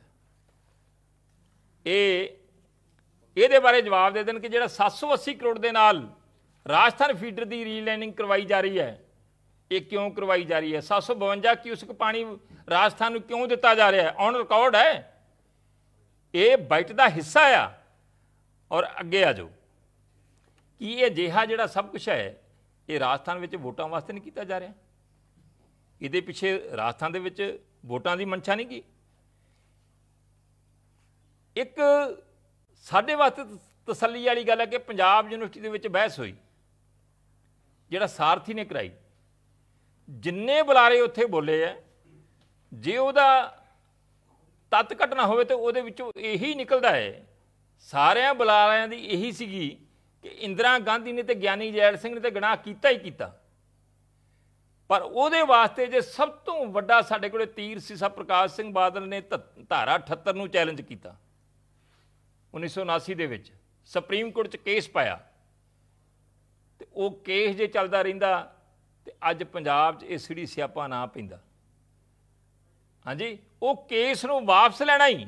ਜਿਹੜਾ ਇੰਦਰਾ ਗਾਂਧੀ ਦੇ ਦਬਾਅ ਦੇ ਉੱਤੇ ਦਰਬਾਰਾ ਸਿੰਘ ਨੇ ਲਿਆ ਸੀਗਾ, ਉੱਥੇ ਹੀ ਸਾਰੀ ਜਿਹੜੀ ਆ ਮੁਸੀਬਤ ਸ਼ੁਰੂ ਹੋਈ ਔਰ ਸਰਦਾਰ ਪ੍ਰਕਾਸ਼ ਸਿੰਘ ਬਾਦਲ ਦੀ ਉੱਥੇ ਸਾਰੇ ਬੁਲਾਰਿਆਂ ਨੇ ਉਹ ਕੇਸ ਦਰਜ ਕਰਵਾਉਣ ਲਈ ਜਾਂ ਅਕਾਲੀ ਦਲ ਵੱਲੋਂ ਲੜੀ ਗਈ ਲੜਾਈਆਂ ਦੀ ਜਿਹੜੀ ਆ ਪ੍ਰਸ਼ੰਸਾ ਕੀਤੀ ਤੇ ਇਸੇ ਕਰਕੇ ਹੀ ਉਹ ਪੰਜਾਬ ਯੂਨੀਵਰਸਿਟੀ ਵਿੱਚ ਹੋਏ ਸੈਮੀਨਾਰ ਨੂੰ ਇਹ ਗਾਲਾਂ ਕੱਢੀ ਜਾਂਦੇ ਆ। ਕੱਢਦੇ ਕਿ ਨਹੀਂ ਕੱਢਦੇ? ਕੋਈ ਇਧਰੋਂ ਆਉਂਦਾ ਜੀ, ਉੱਥੇ ਆਹ ਕਰਤਾ ਜੀ, ਉੱਥੇ ਉਹ ਕਰਤਾ ਜੀ, ਉੱਥੇ ਕਿਹੜੇ ਗਏ ਜੀ, ਉੱਥੇ ਕੋਈ ਗੱਲ ਨਹੀਂ ਜੀ।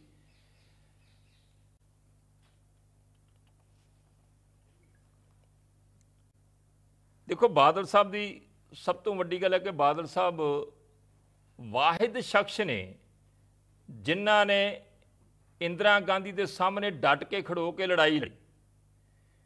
ਔਰ ਇੰਦਰਾ ਗਾਂਧੀ ਦੇ ਪਾਏ ਹੋਏ ਪਵਾੜੇ ਅੱਜ ਵੀ ਪੰਜਾਬ ਨੂੰ ਭੁਗਤਣੇ ਪੈਂਦੇ ਤੇ 2016 ਦੇ ਵਿੱਚ ਜਦੋਂ ਪੰਜਾਬ ਦੇ ਵਿਰੁੱਧ ਫੈਸਲਾ ਆਇਆ ਐਸਵਾਈਐਲ ਨੂੰ ਲੈ ਕੇ, ਤੇ ਸਰਦਾਰ ਪ੍ਰਕਾਸ਼ ਸਿੰਘ ਬਾਦਲ ਨੇ ਜਿਹੜੀ ਐਸਵਾਈਐਲ ਵਾਸਤੇ ਪੰਜਾਬ ਨੇ ਜ਼ਮੀਨ ਨੋਟੀਫਾਈ ਕੀਤੀ ਸੀਗੀ, ਉਹ ਸਾਰੀ ਦੀ ਸਾਰੀ ਡੀ ਨੋਟੀਫਾਈ ਕਰਕੇ ਵਾਪਸ ਉਹਨਾਂ ਲੋਕਾਂ ਨੂੰ ਮੁਫਤ ਜਿਨ੍ਹਾਂ ਨੂੰ ਮੁਆਵਜ਼ਾ ਮਿਲ ਗਿਆ ਸੀਗਾ, ਉਹ ਵਾਪਸ ਕੀਤੀ। ਔਰ ਇੱਥੋਂ ਤੱਕ ਰਿਪੋਰਟਿੰਗ ਨੇ ਕਿ ਜਦੋਂ ਹੁਣ ਉੱਥੇ ਜ਼ਮੀਨ ਹੀ ਹੈ ਨਹੀਂ, ਜ਼ਮੀਨ ਡੀ ਨੋਟੀਫਾਈ ਹੋ ਗਈ ਹੈ, ਤੇ ਐਸਵਾਈਐਲ ਬਣੂ ਕਿਵੇਂ? ਇਹ ਸਭ ਪ੍ਰਕਾਸ਼ ਸਿੰਘ ਬਾਦਲ ਦੀ ਜਿਹੜੀ ਹੈ, ਬਹੁਤ ਵੱਡੀ ਪ੍ਰਾਪਤੀ ਹੈ। ਔਰ 2016 ਦੇ ਵਿੱਚ ਹੀ ਇੱਕ ਵਿਧਾਨ ਸਭਾ ਦੇ ਵਿੱਚ ਰੈਜੂਲੇਸ਼ਨ ਲਿਆਂਦਾ ਗਿਆ, ਮਤਾ ਲਿਆਂਦਾ ਗਿਆ, ਜਿਹਦੇ ਵਿੱਚ ਆਪ ਦੀ ਪ੍ਰਤੀਗਿਆ ਜਿਹੜੀ ਐਸਵਾਈਐਲ ਨਹੀਂ ਬਣ ਦੇਵਾਂਗੇ, ਜਿੱਥੇ ਜ਼ਮੀਨ ਡੀ ਨੋਟੀਫਾਈ ਦੀ ਗੱਲ ਕੀਤੀ ਗਈ, ਉੱਥੇ ਨਾਲ ਹੀ ਸਮੁੱਚੀਆਂ ਰਾਜਨੀਤਿਕ ਧਿਰਾਂ ਨੂੰ ਬੇਨਤੀ ਕੀਤੀ ਤੇ ਨਾਲ ਹੀ ਪੰਜਾਬ ਦੀ ਬਿਊਰੋਕ੍ਰੇਸੀ ਨੂੰ। ਚਾਹੇ ਚਪੜਾਸੀ ਤੋਂ ਲੈ ਕੇ ਚੀਫ ਸੈਕਟਰੀ ਹੈ, ਚਾਹੇ ਹੋਮਗਾਰਡੀਏ ਜਵਾਨ ਤੋਂ ਲੈ ਕੇ ਡੀਜੀਪੀ ਹੈ, ਸਾਰਿਆਂ ਨੂੰ ਹਦਾਇਤਾਂ ਕੀਤੀਆਂ ਕਿ ਕਿਸੇ ਵੀ ਤਰ੍ਹਾਂ ਦੇ ਹਾਲਾਤ ਬਣ ਜਾਣ। ਕੋਈ ਵੀ ਕਰਮਚਾਰੀ, ਅਧਿਕਾਰੀ ਆਫੀਸਰ ਐਸਵਾਈਐਲ ਦੇ ਮਸਲੇ ਤੇ ਪੰਜਾਬ ਵਿਰੋਧੀ ਜਿਹੜਾ ਆ, ਕਿਸੇ ਨੂੰ ਕੋਆਪਰੇਟ ਨਹੀਂ ਕਰੂਗਾ। ਔਰ ਜੇ ਕਰੂਗਾ ਤੇ ਸਜ਼ਾ ਦਾ ਭਾਗੀਦਾਰ ਹੋਊਗਾ। ਇਹ ਸਭ ਪ੍ਰਕਾਸ਼ ਸਿੰਘ ਬਾਦਲ ਵੱਲੋਂ ਪਾਸ ਕੀਤਾ ਹੋਇਆ ਪੰਜਾਬ ਦੀ ਵਿਧਾਨ ਸਭਾ ਦੇ ਵਿੱਚ ਔਨ ਰਿਕਾਰਡ ਹੈ। ਆ 31 ਮਾਰਚ 1982 ਦੀ ਬਹਿਸ ਇਹ ਬਹਿਸ ਕਦੋਂ ਦੀ ਹੈ? ਇਹ ਉਸ ਸਮੇਂ ਦੀ ਬਹਿਸ ਹੈ ਜਦੋਂ ਦਰਬਾਰਾ ਸਿੰਘ ਨੇ ਕੇਸ ਵਾਪਸ ਲੈ ਲਿਆ, ਬਾਦਲ ਸਾਹਿਬ ਵੱਲੋਂ ਕੀਤਾ ਹੋਇਆ ਸੁਪਰੀਮ ਕੋਰਟ ਵਾਲਾ। ਤੇ ਉਸ ਤੋਂ ਬਾਅਦ ਐਸਵਾਈਐਲ ਦਾ ਟੱਪ ਲਾਉਣਾ ਸੀ ਇੰਦਰਾ ਗਾਂਧੀ ਨੇ, ਸਮਾਂ ਮਿਥ ਲਿਆ ਗਿਆ। ਤੇ ਬਾਦਲ ਸਾਹਿਬ ਨੇ ਇੱਕ ਰੂਲ ਹੁੰਦਾ 77 ਉਹਦੇ ਤਹਿਤ ਵਿਧਾਨ ਸਭਾ ਦੇ ਵਿੱਚ ਮੁੱਦਾ ਉਠਾਇਆ ਉਹਦਾ ਮਤਲਬ ਹੁੰਦਾ ਹੈ ਕਿ ਕੋਈ ਅਜਿਹੀ ਸਿਚੁਏਸ਼ਨ ਪੈਦਾ ਹੋਈ ਹੋਵੇ, ਜਿਹਦੇ ਉੱਤੇ ਬਹਿਸ ਜ਼ਰੂਰੀ ਹੋਵੇ, ਤੇ ਤੁਸੀਂ ਤੁਰਤ ਜਿਹੜਾ ਨੋਟਿਸ ਦੇ ਕੇ ਉਹ ਰੂਲ 77 ਦੇ ਤਹਿਤ ਬਾਦਲ ਸਾਹਿਬ ਨੇ ਉਹ ਜਿਹੜਾ ਆਪਦਾ ਪੱਖ ਰੱਖਿਆ ਤੇ ਉਹਦੇ ਵਿੱਚ ਪਤਾ ਕਹਿੰਦੇ ਕੀ ਹੈ ਬਾਦਲ ਸਾਹਿਬ? ਭਾਵੇਂ ਕਿ ਬੜੀ ਲੰਬੀ ਬਹਿਸ ਹੈ। ਉਹਦੇ 'ਚ ਇੱਕ ਥਾਂ ਤੇ ਬਾਲ ਸਾਹਿਬ ਸਰਦਾਰ ਦਰਬਾਰਾ ਸਿੰਘ ਨੂੰ ਕਹਿੰਦੇ ਆ, ਮੈਂ ਕੋਈ ਆਪੋਜੀਸ਼ਨ ਵਾਸਤੇ ਗੱਲਾਂ ਨਹੀਂ ਕਰਦਾ। ਇਹ ਮੇਰੇ ਦਿਲ ਦੇ ਜਜ਼ਬਾਤ ਹਨ ਕਿ ਸਰਦਾਰ ਦਰਬਾਰਾ ਸਿੰਘ ਜੀ, ਤੁਸੀਂ ਇਸ ਇਸ਼ੂ ਤੇ ਅਸਤੀਫਾ ਦੇ ਦਿਓ। ਤਾਂ ਮੈਂ ਸਮਝਦਾ ਹਾਂ ਕਿ ਸਾਰੇ ਹਿੰਦੁਸਤਾਨ ਵਿੱਚ ਕੀ ਸਾਰੀ ਦੁਨੀਆ ਵਿੱਚ ਤੁਹਾਡਾ ਨਾਮ ਉੱਚਾ ਹੋ ਜਾਏਗਾ ਕਿ ਇਸ ਚੀਫ ਮਿਨਿਸਟਰ ਨੇ ਆਪਣੇ ਲੋਕਾਂ ਦੀ ਖਾਤਰ, ਲੋਕਾਂ ਦੇ ਹਿੱਤਾਂ ਦੀ ਖਾਤਰ ਆਪਣੀ ਗੱਦੀ ਛੱਡ ਦਿੱਤੀ। ਉੱਥੇ ਥੰਪਿੰਗ ਹੁੰਦੀ ਹੈ। ਮੈਂ ਫਿਰ ਇਹਨਾਂ ਨੂੰ ਬੇਨਤੀ ਕਰਦਾ ਹਾਂ ਮਤਲਬ ਕਿ ਸਰਕਾਰੀ ਧਿਰ ਨੂੰ ਬੇਨਤੀ ਕਰਦਾ ਹਾਂ ਕਿ ਇਹ, ਇਸ ਗੱਲ ਤੇ ਅਸਤੀਫਾ ਦੇ ਦੇਣ ਕਿ ਪਾਣੀ ਤੋਂ ਜ਼ਿਆਦਾ ਪਿਆਰੀ ਹੋਰ ਕੋਈ ਚੀਜ਼ ਨਹੀਂ ਹੈ। ਜੇ ਤੁਸੀਂ ਇਸ ਇਸ਼ੂ ਤੇ ਇਲੈਕਸ਼ਨ 'ਚ ਲੜੋਗੇ, ਦਰਬਾਰਾ ਸਿੰਘ ਨੂੰ ਕਹਤਾ, ਬਾਦਲ ਸਾਹਿਬ ਨੇ, ਜੇ ਤੁਸੀਂ ਇਸ ਇਸ਼ੂ ਤੇ ਇਲੈਕਸ਼ਨ 'ਚ ਲੜੋਗੇ, ਤਾਂ ਤੁਹਾਡੇ ਖਿਲਾਫ ਅਕਾਲੀ ਪਾਰਟੀ ਇਲੈਕਸ਼ਨ 'ਚ ਨਹੀਂ ਲੜੇਗੀ। ਮਤਲਬ ਤੁਹਾਨੂੰ ਅਨਅਪੋਜ਼ ਪੰਜਾਬ ਦੀ ਵਿਧਾਨ ਸਭਾ ਵਿੱਚ ਭੇਜਾਂਗੇ। ਅਸੀਂ ਕਹਾਂਗੇ ਕਿ ਇਹ ਬੰਦੇ ਬਹਾਦਰ ਹਨ, ਕਿਉਂਕਿ ਇਹਨਾਂ ਨੇ ਪੰਜਾਬ ਦੇ ਹੱਕਾਂ ਦੀ ਰਾਖੀ ਕੀਤੀ ਹੈ। ਜਿਸ ਨੂੰ ਤੁਸੀਂ ਅਗਰ ਤਾਕਤ ਦਿਓਗੇ, ਤਾਂ ਅਸੀਂ ਨਹੀਂ ਲੜਾਂਗੇ। ਤੁਹਾਡਾ ਦਿਲ ਵੀ ਕੀਤਾ ਸੀ ਸਾਧ ਦਰਬਾਰਾ ਸਿੰਘ ਜੀ। ਤੁਸੀਂ ਇਸ ਇਸ਼ੂ ਤੇ ਅਸਤੀਫਾ ਵੀ ਦੇਣਾ ਚਾਹੁੰਦੇ ਸੀ, ਪਰ ਤੁਹਾਡੀਆਂ ਮਜਬੂਰੀਆਂ ਕਰਕੇ ਇਹ ਗੱਲ ਵਿੱਚੇ ਰਹਿ ਗਈ। ਇਹ ਬਾਦਲ ਸਾਹਿਬ ਨੇ ਜਿਹੜੀ ਆ, ਉੱਥੇ ਗੱਲ ਉਠਾਈ ਵਿਧਾਨ ਸਭਾ ਦੇ ਵਿੱਚ 31 ਮਾਰਚ 1982 ਨੂੰ ਐਸਵਾਈਐਲ ਦਾ ਟੱਕ ਲੱਗਣ ਤੋਂ ਇੱਕ ਹਫ਼ਤਾ ਪਹਿਲਾਂ। ਤੇ ਇਹਦੇ ਉੱਤੇ ਫਿਰ ਸਭ ਪ੍ਰਕਾਸ਼ ਸਿੰਘ ਬਾਦਲ ਇੱਕ ਗੱਲ ਹੋਰ ਕਹਿੰਦੇ ਆ ਕਿ ਮੈਂ ਇਹਨਾਂ ਨੂੰ, ਮਤਲਬ ਸਰਕਾਰ ਨੂੰ ਕਹਿਣਾ ਚਾਹੁੰਦਾ ਹਾਂ ਕਿ ਮੇਰੇ ਵਿੱਚ ਜ਼ਰੂਰਤ ਸੀ। ਜਦੋਂ ਪ੍ਰਧਾਨ ਮੰਤਰੀ ਇੰਦਰਾ ਗਾਂਧੀ ਨੇ ਲਿਖਿਆ, ਤਾਂ ਮੇਰੇ ਤੇ ਅਸਰ ਹੋਇਆ ਔਰ ਮੈਂ ਜਾ ਕੇ ਨਹੀਂ, ਇੱਥੇ ਮਤਲਬ ਬਾਲ ਸਾਹਿਬ ਨੇ ਕਿਹਾ ਕਿ ਮੈਂ ਇਹਨਾਂ ਨੂੰ ਕਹਿਣਾ ਚਾਹੁੰਦਾ ਹਾਂ ਕਿ ਮੇਰੇ ਵਿੱਚ ਜ਼ਰੂਰਤ ਸੀ। ਜਦੋਂ ਪ੍ਰਧਾਨ ਮੰਤਰੀ ਨੇ ਲਿਖਿਆ, ਤਾਂ ਮੇਰੇ ਤੇ ਅਸਰ ਹੋਇਆ ਔਰ ਮੈਂ ਜਾ ਕੇ ਪਰਸਨਲੀ ਕਹਿ ਦਿੱਤਾ ਸੀ ਕਿ ਮੈਂ ਜਿੰਨਾ ਚਿਰ ਚੀਫ ਮਿਨਿਸਟਰ ਹਾਂ, ਸਾਰੇ ਹੈਡਵਰਕਸ ਪੰਜਾਬ ਕੋਲ ਰਹਿਣਗੇ। ਅੱਜ ਦੇ ਹਾਲਾਤ ਵੇਖ ਲਓ। ਅੱਜ ਪ੍ਰਧਾਨ ਮੰਤਰੀ ਸ਼੍ਰੀਮਤੀ ਇੰਦਰਾ ਗਾਂਧੀ ਨੇ ਚਿੱਠੀ ਲਿਖੀ ਅਤੇ ਇਹਨਾਂ ਦੀ ਜ਼ਰੂਰਤ ਨਹੀਂ ਕਿ ਅੱਗਿਓਂ ਕੁਝ ਕਹਿ ਸਕਣ। ਇਹ ਦਰਬਾਰਾ ਸਿੰਘ ਤੇ ਉਸ ਸਮੇਂ ਦੀ ਜਿਹੜੀ ਕਾਂਗਰਸ ਸਰਕਾਰ ਸੀ, ਉਹਨੂੰ ਬਾਦਲ ਸਾਹਿਬ ਨੇ ਵਿਧਾਨ ਸਭਾ ਦੇ ਵਿੱਚ ਇਸ ਪਾਣੀ ਨੂੰ ਲੈ ਕੇ ਐਸਵੇਲ ਨੂੰ ਲੈ ਕੇ ਇਹ ਗੱਲਾਂ ਕਹੀਆਂ। ਅੱਗੇ ਦਰਬਾਰਾ ਸਿੰਘ ਕੀ ਕਹਿੰਦਾ ਆ? ਦਰਬਾਰਾ ਸਿੰਘ ਆਪ ਦੇ ਜਵਾਬ ਦੇ ਵਿੱਚ ਇੱਕ ਥਾਂ ਤੇ ਕਹਿੰਦਾ ਆ, ਬਾ- ਅਕਾਲੀ ਦਲ ਨੂੰ। ਅਕਾਲੀ ਦਲ ਨੂੰ ਕਹਿੰਦਾ ਕਿ ਇਹ ਕਹਿੰਦੇ ਹਨ ਕਿ ਅਸੀਂ ਸੁਪਰੀਮ ਕੋਰਟ ਵਿੱਚ ਗਏ ਹਾਂ। ਇਸ ਦੇ ਬਾਰੇ ਵਿੱਚ ਵੀ ਸਭ ਨੂੰ ਪਤਾ ਹੈ ਕਿ ਸਭ ਤੋਂ ਪਹਿਲਾਂ ਹਰਿਆਣਾ ਸੁਪਰੀਮ ਕੋਰਟ ਵਿੱਚ ਗਿਆ ਔਰ ਉਸਨੇ ਜੋ ਫੈਸਲਾ ਵੀ ਉਹ ਲਾਗੂ ਹੋਣਾ ਚਾਹੀਦਾ ਹੈ ਐਸਪੀਐਲ ਬਾਰੇ, ਉਸ ਤੋਂ ਬਾਅਦ ਇਹ ਅਕਾਲੀ ਸੁਪਰੀਮ ਕੋਰਟ ਵਿੱਚ ਗਏ। ਸਭ ਤੋਂ ਪਹਿਲਾਂ ਹਰਿਆਣਾ ਨੇ ਯਤਨ ਕੀਤਾ ਔਰ ਇਹਨਾਂ ਨੇ ਉਸ ਨੂੰ ਫਾਲੋ ਕੀਤਾ। ਚਲੋ ਅਸੀਂ ਮੰਨਦੇ ਹਾਂ ਕਿ ਅਸੀਂ ਉਸ ਤੋਂ ਬਾਅਦ ਚ ਗਏ ਹਾਂ ਕਿ ਪਹਿਲੋਂ ਅਸੀਂ ਕੋਸ਼ਾਂ ਪ੍ਰਧਾਨ ਮੰਤਰੀ ਪੱਧਰ ਤੇ ਮਰਾਰਜੀ ਦਸਾਈ ਦੇ ਪੱਧਰ ਤੇ ਕਰਦੇ ਰਹੇ। ਉਹਦਾ ਫਰਵਰੀ 79 ਦੇ ਵਿੱਚ ਜਦੋਂ ਇਹ ਹੋ ਗਿਆ ਕਿ ਸਰਕਾਰਾਂ ਆਪਣੇ ਤੌਰ ਤੇ ਲੜ ਲੈਣ, ਫਿਰ ਹਰਿਆਣਾ ਪਹਿਲੋਂ ਚਲਾ ਗਿਆ ਮਾਰਚ ਦੇ ਵਿੱਚ। ਜੁਲਾਈ ਦੇ ਵਿੱਚ ਜਿਹੜਾ ਪੰਜਾਬ ਹੈ, ਬਾਦਲ ਸਾਹਿਬ ਜਿਹੜੇ ਆ, ਉਹ ਚਲਾ ਗਏ। ਤੁਸੀਂ ਇੰਟਰਸਟਿੰਗ ਗੱਲ ਦੇਖੋ ਕਿ ਇਹ ਲੋਕ ਜਿਹੜਾ ਉੱਠਦਾ ਕਿ ਦੇਵੀ ਲਾਲ ਦੇ ਨਾਲ ਬੜੀ ਵੱਡੀ ਸਾਂਝ ਸੀ ਬਾਦਲ ਸਾਹਿਬ ਦੀ। ਤੇ ਦੇਵੀ ਲਾਲ ਤਾਂ ਚਾਹੁੰਦਾ ਹੈ ਕਿ ਐਸਪੀਐਲ ਬਣ ਜੇ। ਤੇ ਇਧਰ ਬਾਦਲ ਸਾਹਿਬ ਸਰਕਾਰ ਦੇ ਵਿੱਚ ਚੀਫ ਮਿਨਿਸਟਰ ਸੀਗੇ, ਤੇ ਬਾਦਲ ਸਾਹਿਬ ਨੇ ਪੈਰ ਨਹੀਂ ਲੱਗਣ ਦਿੱਤੇ। ਤੇ ਦੇਵੀ ਲਾਲ ਦੁਖੀ ਹੋ ਕੇ, ਪਰੇਸ਼ਾਨ ਹੋ ਕੇ ਕਿ ਜਿਹੜਾ ਇੰਦਰਾ ਗਾਂਧੀ ਨੇ ਅਵਾਰਡ ਜਾਰੀ ਕੀਤਾ ਹੈ, ਸਾਡਾ ਹੱਕ ਹੈ ਐਸਵਾਈਐਲ ਉਹ ਪੰਜਾਬ ਸਰਕਾਰ, ਬਾਦਲ ਸਰਕਾਰ ਬਣਾਉਂਦੀ ਨਹੀਂ ਗਈ ਉਹਨੇ ਜਾ ਕੇ ਕੇਸ ਪਾਇਆ। ਤੇ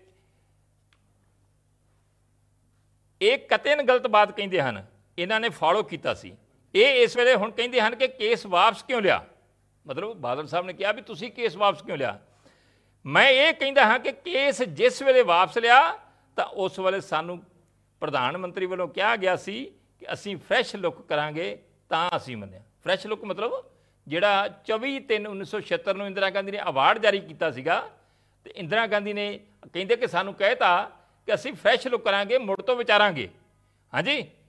ਤੇ ਪ੍ਰਾਈਮ ਮਿਨਿਸਟਰ ਸਾਹਿਬ ਨੇ ਕਿਹਾ ਸੀ ਕਿ ਫਰੈਸ਼ ਲੁੱਕ ਕਰਾਂਗੇ। ਉਹ ਫਰੈਸ਼ ਲੁੱਕ ਹੋ ਗਈ ਕਿਉਂ ਨਹੀਂ ਕੱਢਦੇ ਇੰਦਰਾ ਗਾਂਧੀ ਨੂੰ ਗਾਲਾਂ? ਕਾਂਗਰਸ ਨੂੰ ਪੁੱਛਦੇ ਆ। ਜਿਨੇ ਪੰਜਾਬ ਦੇ ਨਾਲ ਵਾਰ-ਵਾਰ ਧੋਖੇ ਕੀਤੇ ਪੰਜਾਬ ਦੇ ਉੱਤੇ ਹਮਲੇ ਕੀਤੇ ਔਰ ਅ, 1981 ਦੇ ਵਿੱਚ ਵੀ ਦਰਬਾਰਾ ਸਿੰਘ ਦੇ ਕਹਿਣ ਦੇ ਮੁਤਾਬਕ ਆ ਕਿ ਸਾਨੂੰ ਕਿਹਾ ਕਿ ਅਸੀਂ ਫਰੈਸ਼ ਲੁੱਕ ਕਰਾਂਗੇ ਤੇ ਫਿਰ ਹੋਈ ਕਿਉਂ ਨਹੀਂ? ਹਾਂਜੀ ਵ- ਬੇੜਾ ਤੇ ਇੱਥੇ ਗਰਕ ਹੋਇਆ ਆ। ਆ ਇੱਕ ਜੀ ਮੇਰੇ ਬਾਰੇ ਬਈ ਮੇਰਾ ਨਾਂ ਤਾਂ ਨਹੀਂ ਲਿਆ ਕਹਿੰਦਾ ਕਿ ਮਾਝੇ ਦਾ ਇੱਕ ਪ੍ਰੋਫੈਸਰ ਮੈਂ ਤਾਂ ਕਦੀ ਆਪਣੇ ਆਪ ਨੂੰ ਪ੍ਰੋਫੈਸਰ ਕਿਹਾ? ਮੈਂ ਤਾਂ ਕਦੀ ਕਿਹਾ ਹੀ ਨਹੀਂ। ਭਾਵੇਂ ਕਿ ਮੈਂ 2 ਸਾਲ ਕਾਲਜ ਦੇ ਵਿੱਚ ਹੀ ਪੜਾਇਆ ਤੇ ਰਿਪਿਊਟਡ ਕਾਲਜ 'ਚ ਪੜਾਇਆ ਆ। ਪੂਰੇ ਪੰਜਾਬ ਦੇ ਨਹੀਂ, ਪੂਰੇ ਹਿੰਦੁਸਤਾਨ ਦੇ 94 ਕਾਲਜਾਂ 'ਚੋਂ ਕਾਲਜ ਹੈ ਖਾਲਸਾ ਕਾਲਜ ਉੱਥੇ 2 ਸਾਲ ਪੜਾਇਆ ਆ। 1995 ਤੋਂ ਲੈ ਕੇ 1997 ਤੱਕ। ਤੇ ਕਹਿੰਦੇ ਜੀ ਇੱਕ ਆਪਣੇ ਆਪ ਨੂੰ ਪ੍ਰੋਫੈਸਰ ਕਹਾਉਂਦੇ ਆ ਨਾ ਕਿਸੇ ਕੋਲੇ ਯੂਜੀਸੀ ਹੈ, ਨਾ ਕੋਈ ਪੀਐਚਡੀ ਹੈ, ਆਪੇ ਹੀ ਬਣੇ ਫਿਰਦੇ ਆ। ਆਲੇ ਪਿਓ ਦੇ ਪੁੱਤਾ, ਆ ਯੂਜੀਸੀ ਸਰਟੀਫਿਕੇਟ ਹੀ ਮੇਰਾ। ਹਾਂਜੀ, ਮੰਗ ਮਾਫੀ। ਮੰਗ ਮਾਫੀ, ਜੇ ਕਿਤੇ ਮੇਰਾ ਨਾਂ ਲੈ ਦਿੰਦੇ ਹੋ ਨਾ, ਤੇ ਮੈਂ ਡੈਫਾਮੇਸ਼ਨ ਠੋਕਣਾ ਹੈ, ਜਿਸ ਤਰ੍ਹਾਂ ਮੈਂ ਸ਼ਸ਼ੀ ਕਾਂਤ ਤੇ ਠੋਕਿਆ ਸੀਗਾ। ਮੈਂ ਤੈਨੂੰ ਵੀ ਉਤਰਾ ਠੋਕਦਾ, ਤੇਰੇ ਤਰਲੇ ਕਢਾਉਣੇ ਸੀ ਕਿ ਮੈਂ।